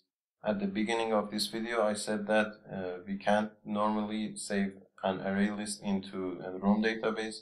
For this, we will create a data converter, and only for this. I don't believe uh, we are going to use data converters in any place in our application. But let's ignore this for now. Our constructor is fine. But for uh, this implementation of the parcelable, I need to add an annotation in here, this ignore one. Basically, in your entity, you should only have the fields, the constructors, and the related uh, getters and setters. Anything else should be annotated with this ignore. If you don't annotate it with ignore room database won't create your uh, database. This one in here as well. Down in here we are using this to string. I need to annotate this one to ignore. Uh, we have two more methods in here.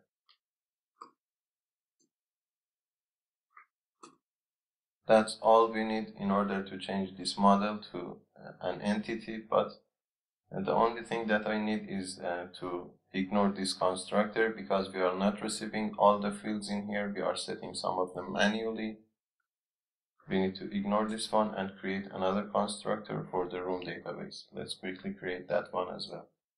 We don't need the ID, ID is a primary key, but we do need all of other fields.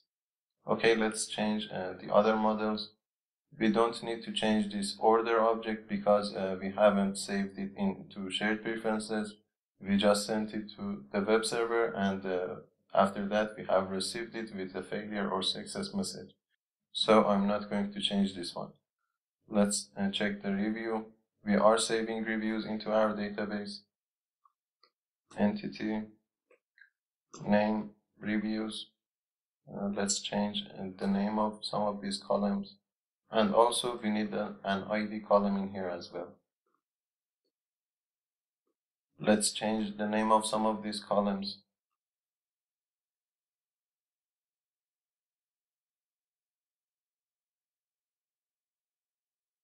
We also need to add the add primary key annotation for this ID. Then we need to create a getter and setter for this ID as well. Let's do that in here.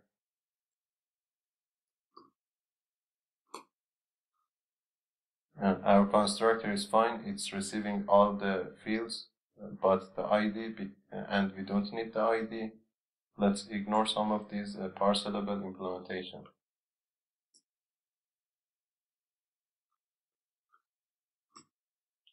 we need to ignore the two string.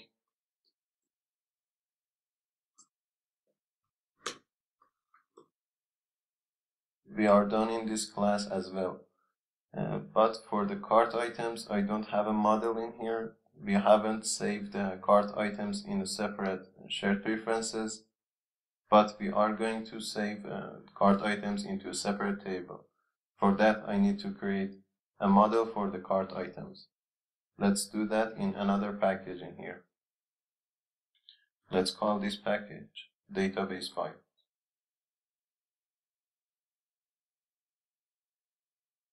In here we need to annotate it with entity. For the name, let's say cart items. We need only two fields in here, one for the ID of the row itself and another one for the ID of the grocery item ID we are not saving the whole objects into our table. We are going to only save uh, the ID of the grocery items. Let's make this ID a primary key.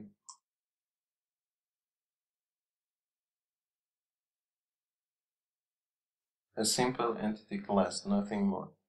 Let's create our DAO objects. We need three of them. The first one for the grocery item, let's say grocery item DAO, we need to change the kind to interface, annotate it with DAO. For now, let's just add uh, two methods in here, one for the inserting and one for retrieving all the grocery items. Later on, we will uh, go to this utils class and uh, we will create all the methods that we need inside this DAO.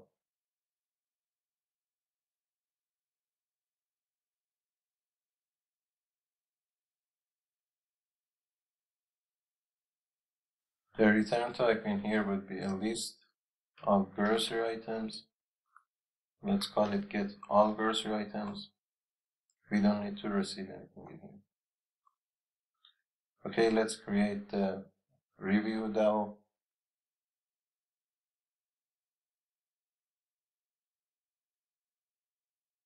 For this one, for now, let's just uh, create an insert method. Later on, we will uh, complete it.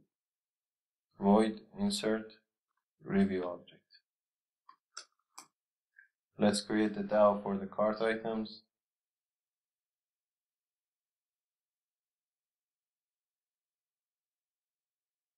For this one, I'm going to create an insert method for now, but uh, we can't use this insert annotation.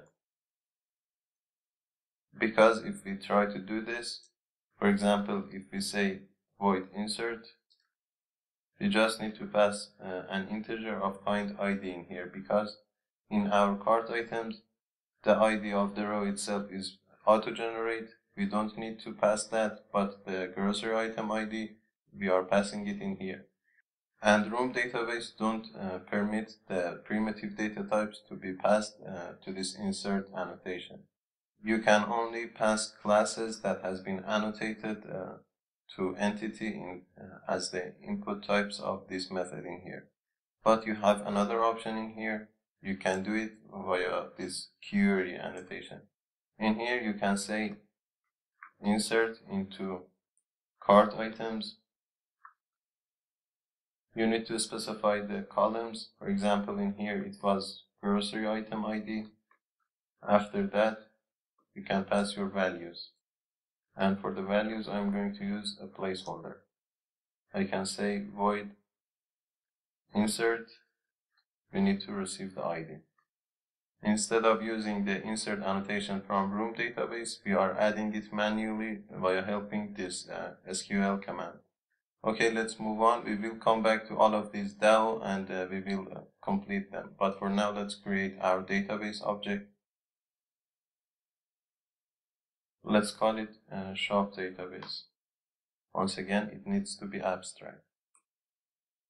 It needs to be annotated with at database. It needs to be extended from room database.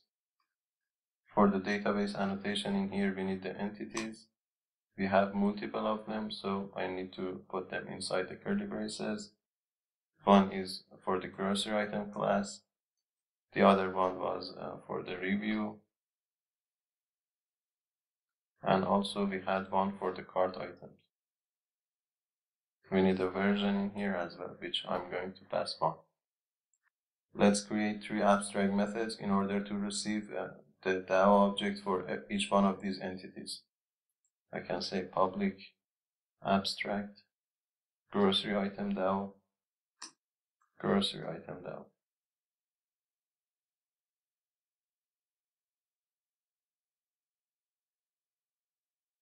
We need to implement the singleton pattern in here.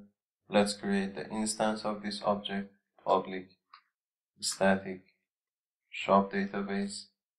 Let's call it instance. We need the getter for this instance we need to receive a context. Also, before returning, we need to initialize this instance. If null is equal to the instance, then I can say instance is equal to room.database builder context, the shop database class, and also the name of the database. After that, fall back to destructive migration and dot build. Also in here, I'm going to allow the main thread because if I try to retrieve all the data from database inside another thread, I need to create an async task for all the methods inside the utils class, but that would take a lot of time. This allow main thread queries would work fine for our uh, simple application. But if you want, you can create all of those async tasks, but you can't uh, create them inside your utils class. You need to create them whenever uh, you are called those methods uh, from different parts of your application, from activities or fragments or different dialogues. But uh, just for simplicity, I'm going to allow main thread queries. Let's also add uh, an initial callback in here. private static room database dot callback initial callback equals to new room database dot callback override on create. After that call the async task. But first we need to create that async task. Private static don't forget this static it's very important for memory leaks. Private static class. Initial async task extends async task.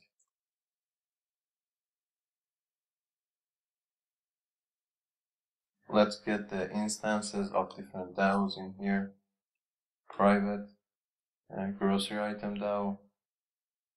I think this is all I need. Uh, I don't want to add any review or anything to the cart uh, at the time of initializing my database. I just want to initialize all of my grocery items.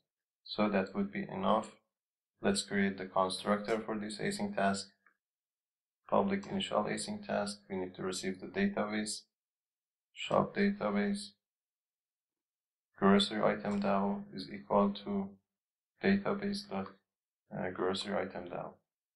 Inside the doInBackground, let's initialize our items. I'm going to uh, use this utils class and uh, get the items wherever I have uh, initialized my items. Let's find that method. It seems uh, these are the items that I have added them to my shared preferences at the time of initializing. So let's copy all of them. Let's copy this one from here into our shop database. I can say uh, grocery item DAO.insert the text that we just copied. To save your time, I have added these nine elements to my grocery item table. That's all we need from this async task. We just need to call it uh, from here, from defining this uh, callback.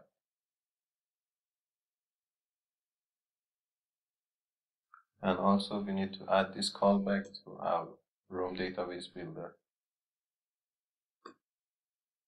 Let's create the data converter class and finish off this video. Once again, I'm going to call it data converter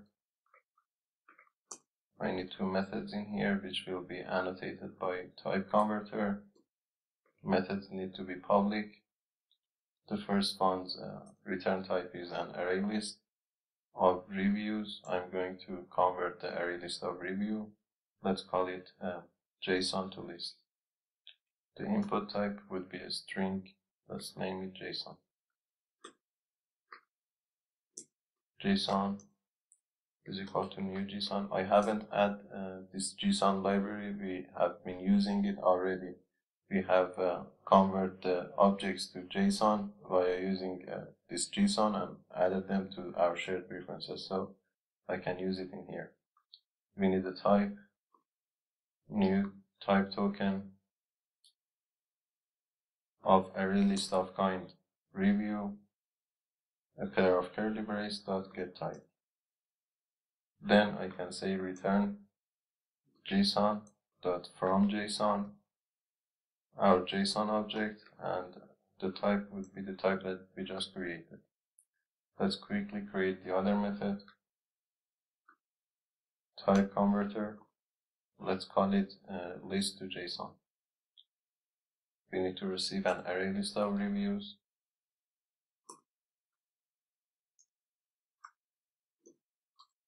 instantiate your JSON object and after that return JSON dot uh, to JSON our reviews object.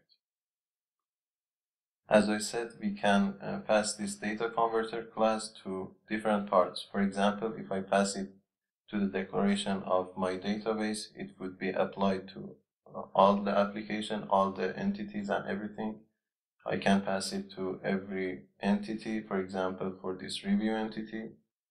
I can pass it uh, at the declaration in here, and also I can pass it, for example, uh, in this grocery item uh, above uh, the declaration of this field in here. I can pass it in here as well, and it will be applied only to this field.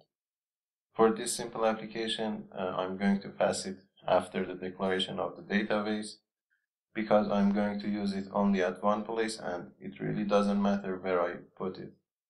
I can uh, annotate and type converters, this one, the one with S, and inside the parentheses I need to pass the uh, class that I just created, data converter.class. Also sorry for this get instance method. I think in the previous video I have uh, made the same mistake.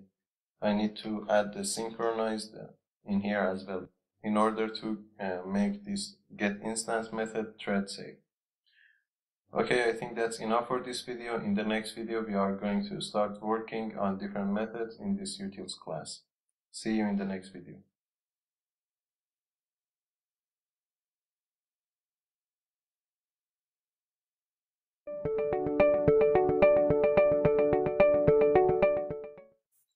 Okay, let's start by working on the utils class. But before that, let's close all these extra panels. Let's start from the beginning. I should have put some comments uh, before every one of these methods, but the names are descriptive and uh, we know that what we are going to do.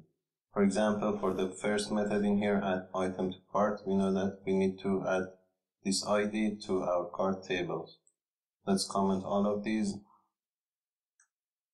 but before we start working on the database inside the constructor, in here I need to uh, have access to my database. Let's define the database in here. I can say private static shop database. Let's call it database. And inside the constructor, I can say database is equal to shop database.get instance we need to pass our context in here as well. Inside the add item to cart, I can simply say database dot cart item dot insert and I can pass my ID. That's all we need to do inside this method. The next one is update the rate. We are updating the grocery item, so let's create that method inside our uh, grocery item DAO. At update, I can simply say void update and uh, I can receive the cursor item. Later on, inside my utils class, before everything, I can say uh, item dot set rate to the new rate, and after that, simply I can call database dot grocery item dot update, and I can pass my item. That's all, we don't need this extra code in here, so let's comment all of them. And also let's minimize this method. For adding a review, we just need to add a review to our review table. In here we can simply say database.review.insert and we can pass our review. But the return type of this method is a boolean we know that we are accessing our database in the main thread, so whenever this line of code has been executed, means that uh, the review have been inserted into our database. So after that, we can simply return true. We don't need uh, the extra code in here, so let's comment all of them.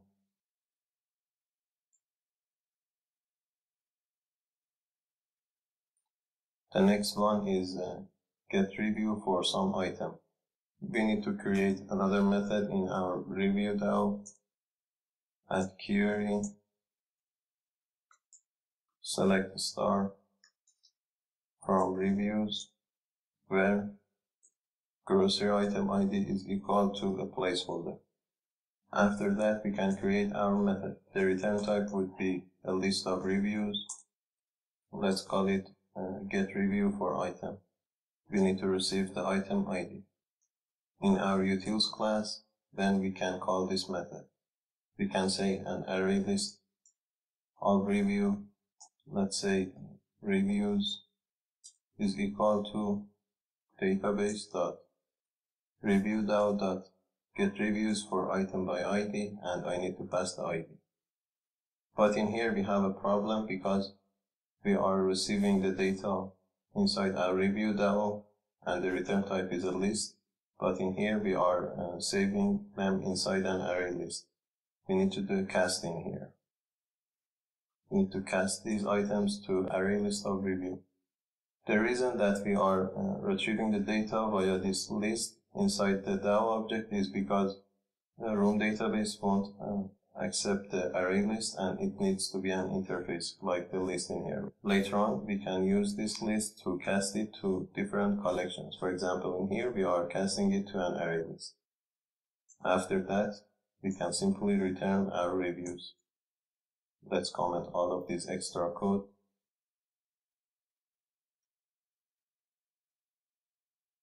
The next method is init database. We don't need this method at all because we are calling uh, an instance of our database inside the constructor. So it will create the initial values for the database for us. The next one is to get all the grocery items. We have that method inside our grocery item DAO. Once again, I can say array list of grocery item. Let's call it items is equal to. Let's cast it to the array list of grocery item database dot grocery item DAO dot uh, get all grocery items. And after that, we can simply return our items. The next method is init all items. We don't need this one as well. We are initializing our database inside an async task in our database class.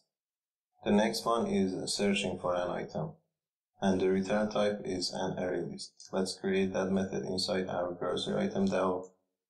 Let's say query, select star from grocery item where the name is like the name that we are going to pass.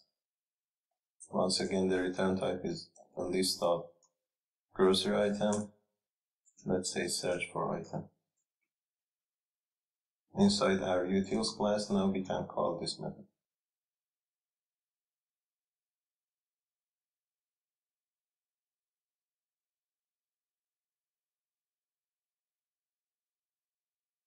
We don't need this extra code, so let's um, comment all of them. We just need to return our items.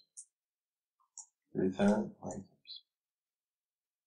The next method is to get three categories. We can create that inside our grocery item as well.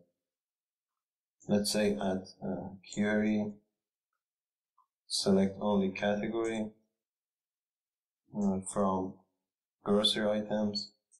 We can also limit the record uh, to three. Let's say uh, a list of string, get three categories, and we don't need to receive anything. In here we can say array list of a string in three categories.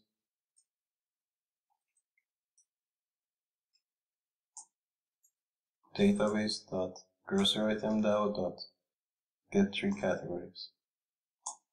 After that, we need to return our three categories.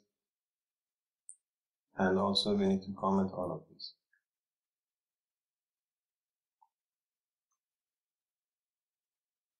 The next method is to get all categories. Let's create that as well. We simply need to copy the same, but we need to delete the limit part. Let's change the name of this method as well to get all categories.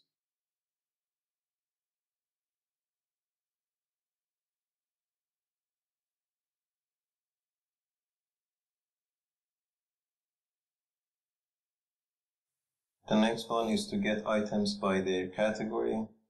Let's quickly create that as well. Add query. Select the star from grocery items where category is equal to the category that we are going to receive. It will be a list of grocery item. Let's say get items by category we need to receive uh, the name of that category. In here we can call that method. Once again, array list of grocery item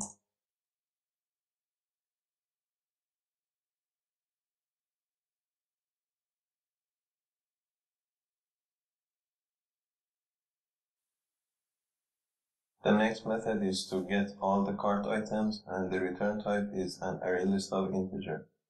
Let's go to cart item DAO and let's create that method. I can say query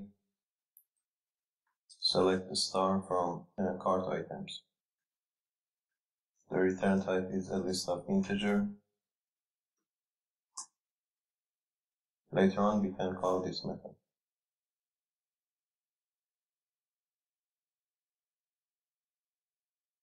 database.cartitemDAO.get all items. Return items.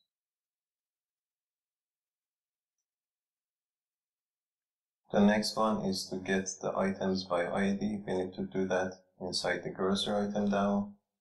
I don't think we have one. Okay, let's quickly create that.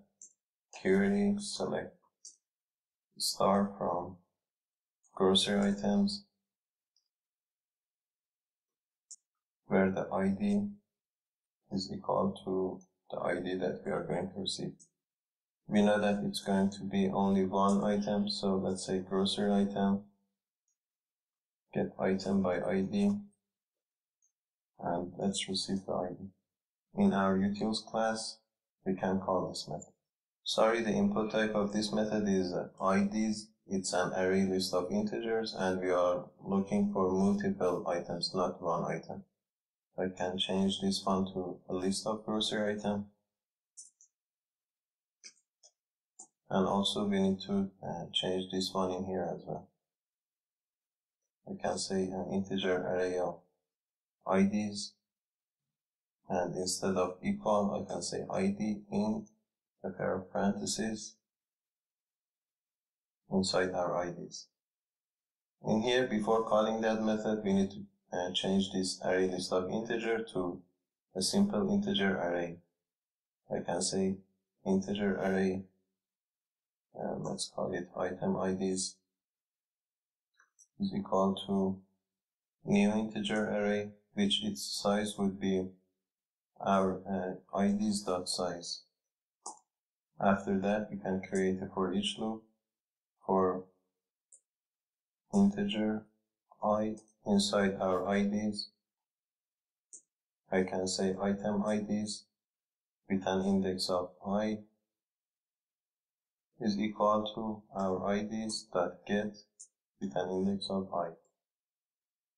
Now that we have this integer array, I can simply say an array list of grocery item items is equal to Let's cast it to the array list of grocery item database dot grocery item DAO dot get uh, items by ID. And I need to pass my item IDs. But I think I need to change the name of this method to items by ID.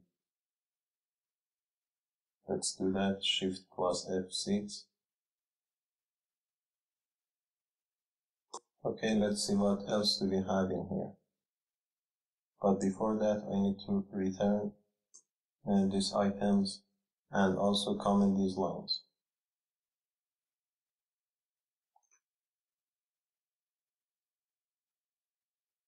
In the next method, we are uh, deleting one item from our cart, and after that, we are mm, returning the array list of new items. So let's do that. First of all, I need to create a delete method inside my cart item DAO once again, like the insert in here, because the ID is a primitive data type, we can't use this at delete because it needs a, a class that has been annotated with entity. Instead, we can use the query, let's say, delete from cart items, where the grocery item ID is equal to the ID that we are going to receive. The return type for this method would be void. Let's call it delete by ID. From utils class, we can call this method. We can say database dot cart item dot delete by ID, and I can pass my item dot get ID. After this, I need to uh, receive the new items inside the cart. I can say an array list of integer all items is equal to an array list of integer database dot cart item DAO dot get all items. And uh, after that, we need to return all items.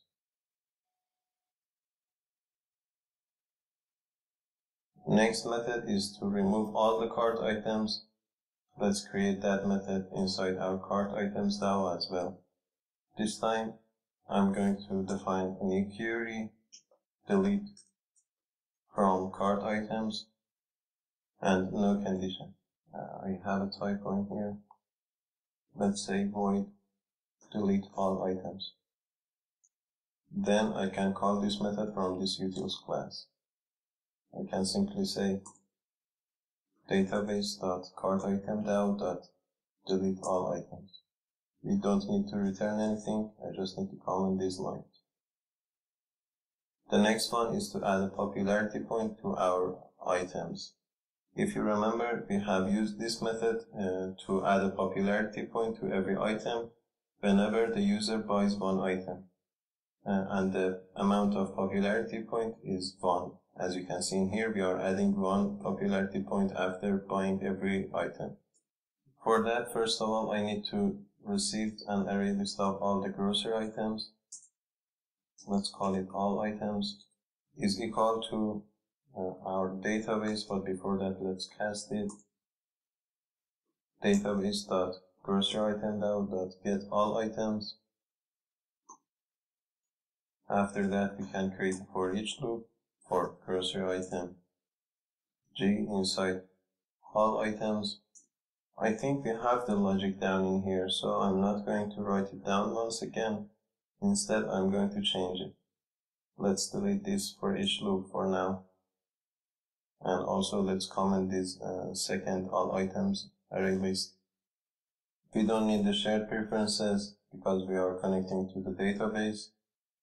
Inside this uh, for each loop, we are looking that if the items ID that we have received via the inputs of this method exists in our all items and if it does, we are adding uh, one popularity point. After that, we are saving it inside a new item array list. And after that, we have uh, saved these new items to the shared preferences down in here. But of course, I don't need the shared preferences. Instead, I can say for grocery item, I inside new items. Uh, let's say database dot grocery item DAO dot update, and we need to pass the I object and the return type of this method is void, so we don't need to return anything. The next one is to increase the user point. If you remember, this method was helpful uh, when we wanted to create our customized uh, recycler view adapter. And in here we are adding uh, some points to every item. For this method, I can simply say item.set user point to item dot get user point plus the points that we are going to add. And after that, I can say database dot grocery item DAO dot update our item. As simple as that. That was all of our methods and uh, I think we have changed everything. We don't need this get ID method as well because uh, the ID is a primary key and we have added it to our entity. So let's delete this one and let's see where in our application we have used it and uh, where would be the problem. Let's take a look at all of these classes. The first error is in here.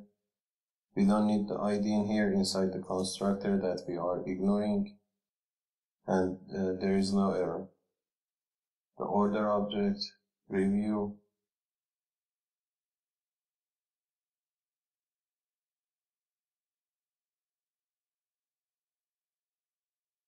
we have another error in here and uh, that's in main fragment. We have delete this init database method because we didn't need it, we have initialized our database in shop database class. So let's delete this one.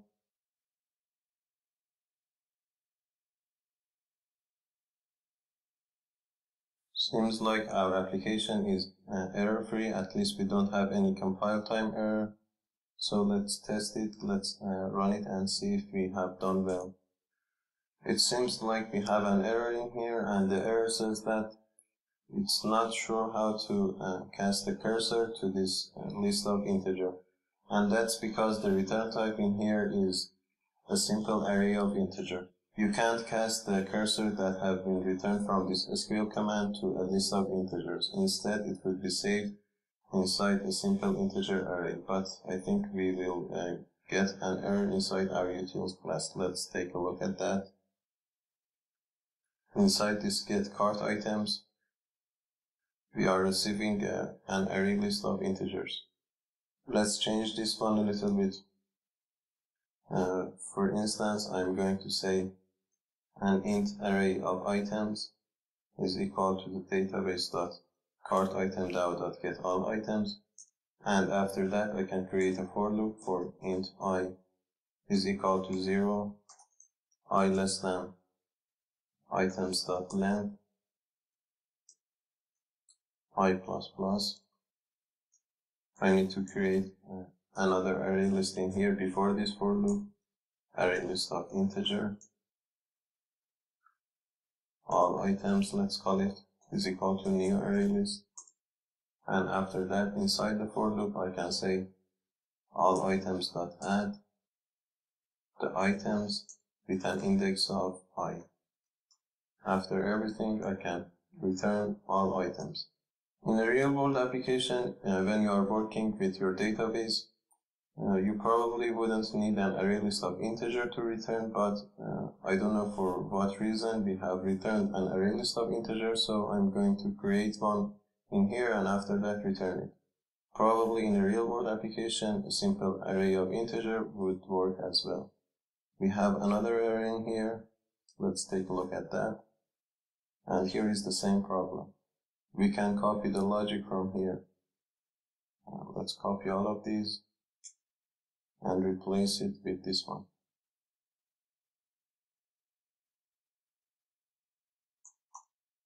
Okay, now we don't have any more errors. Let's try running it once again.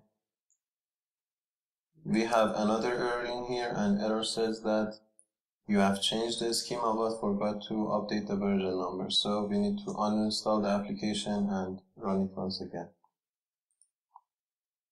Apps and notification. The name of the application was Maimon.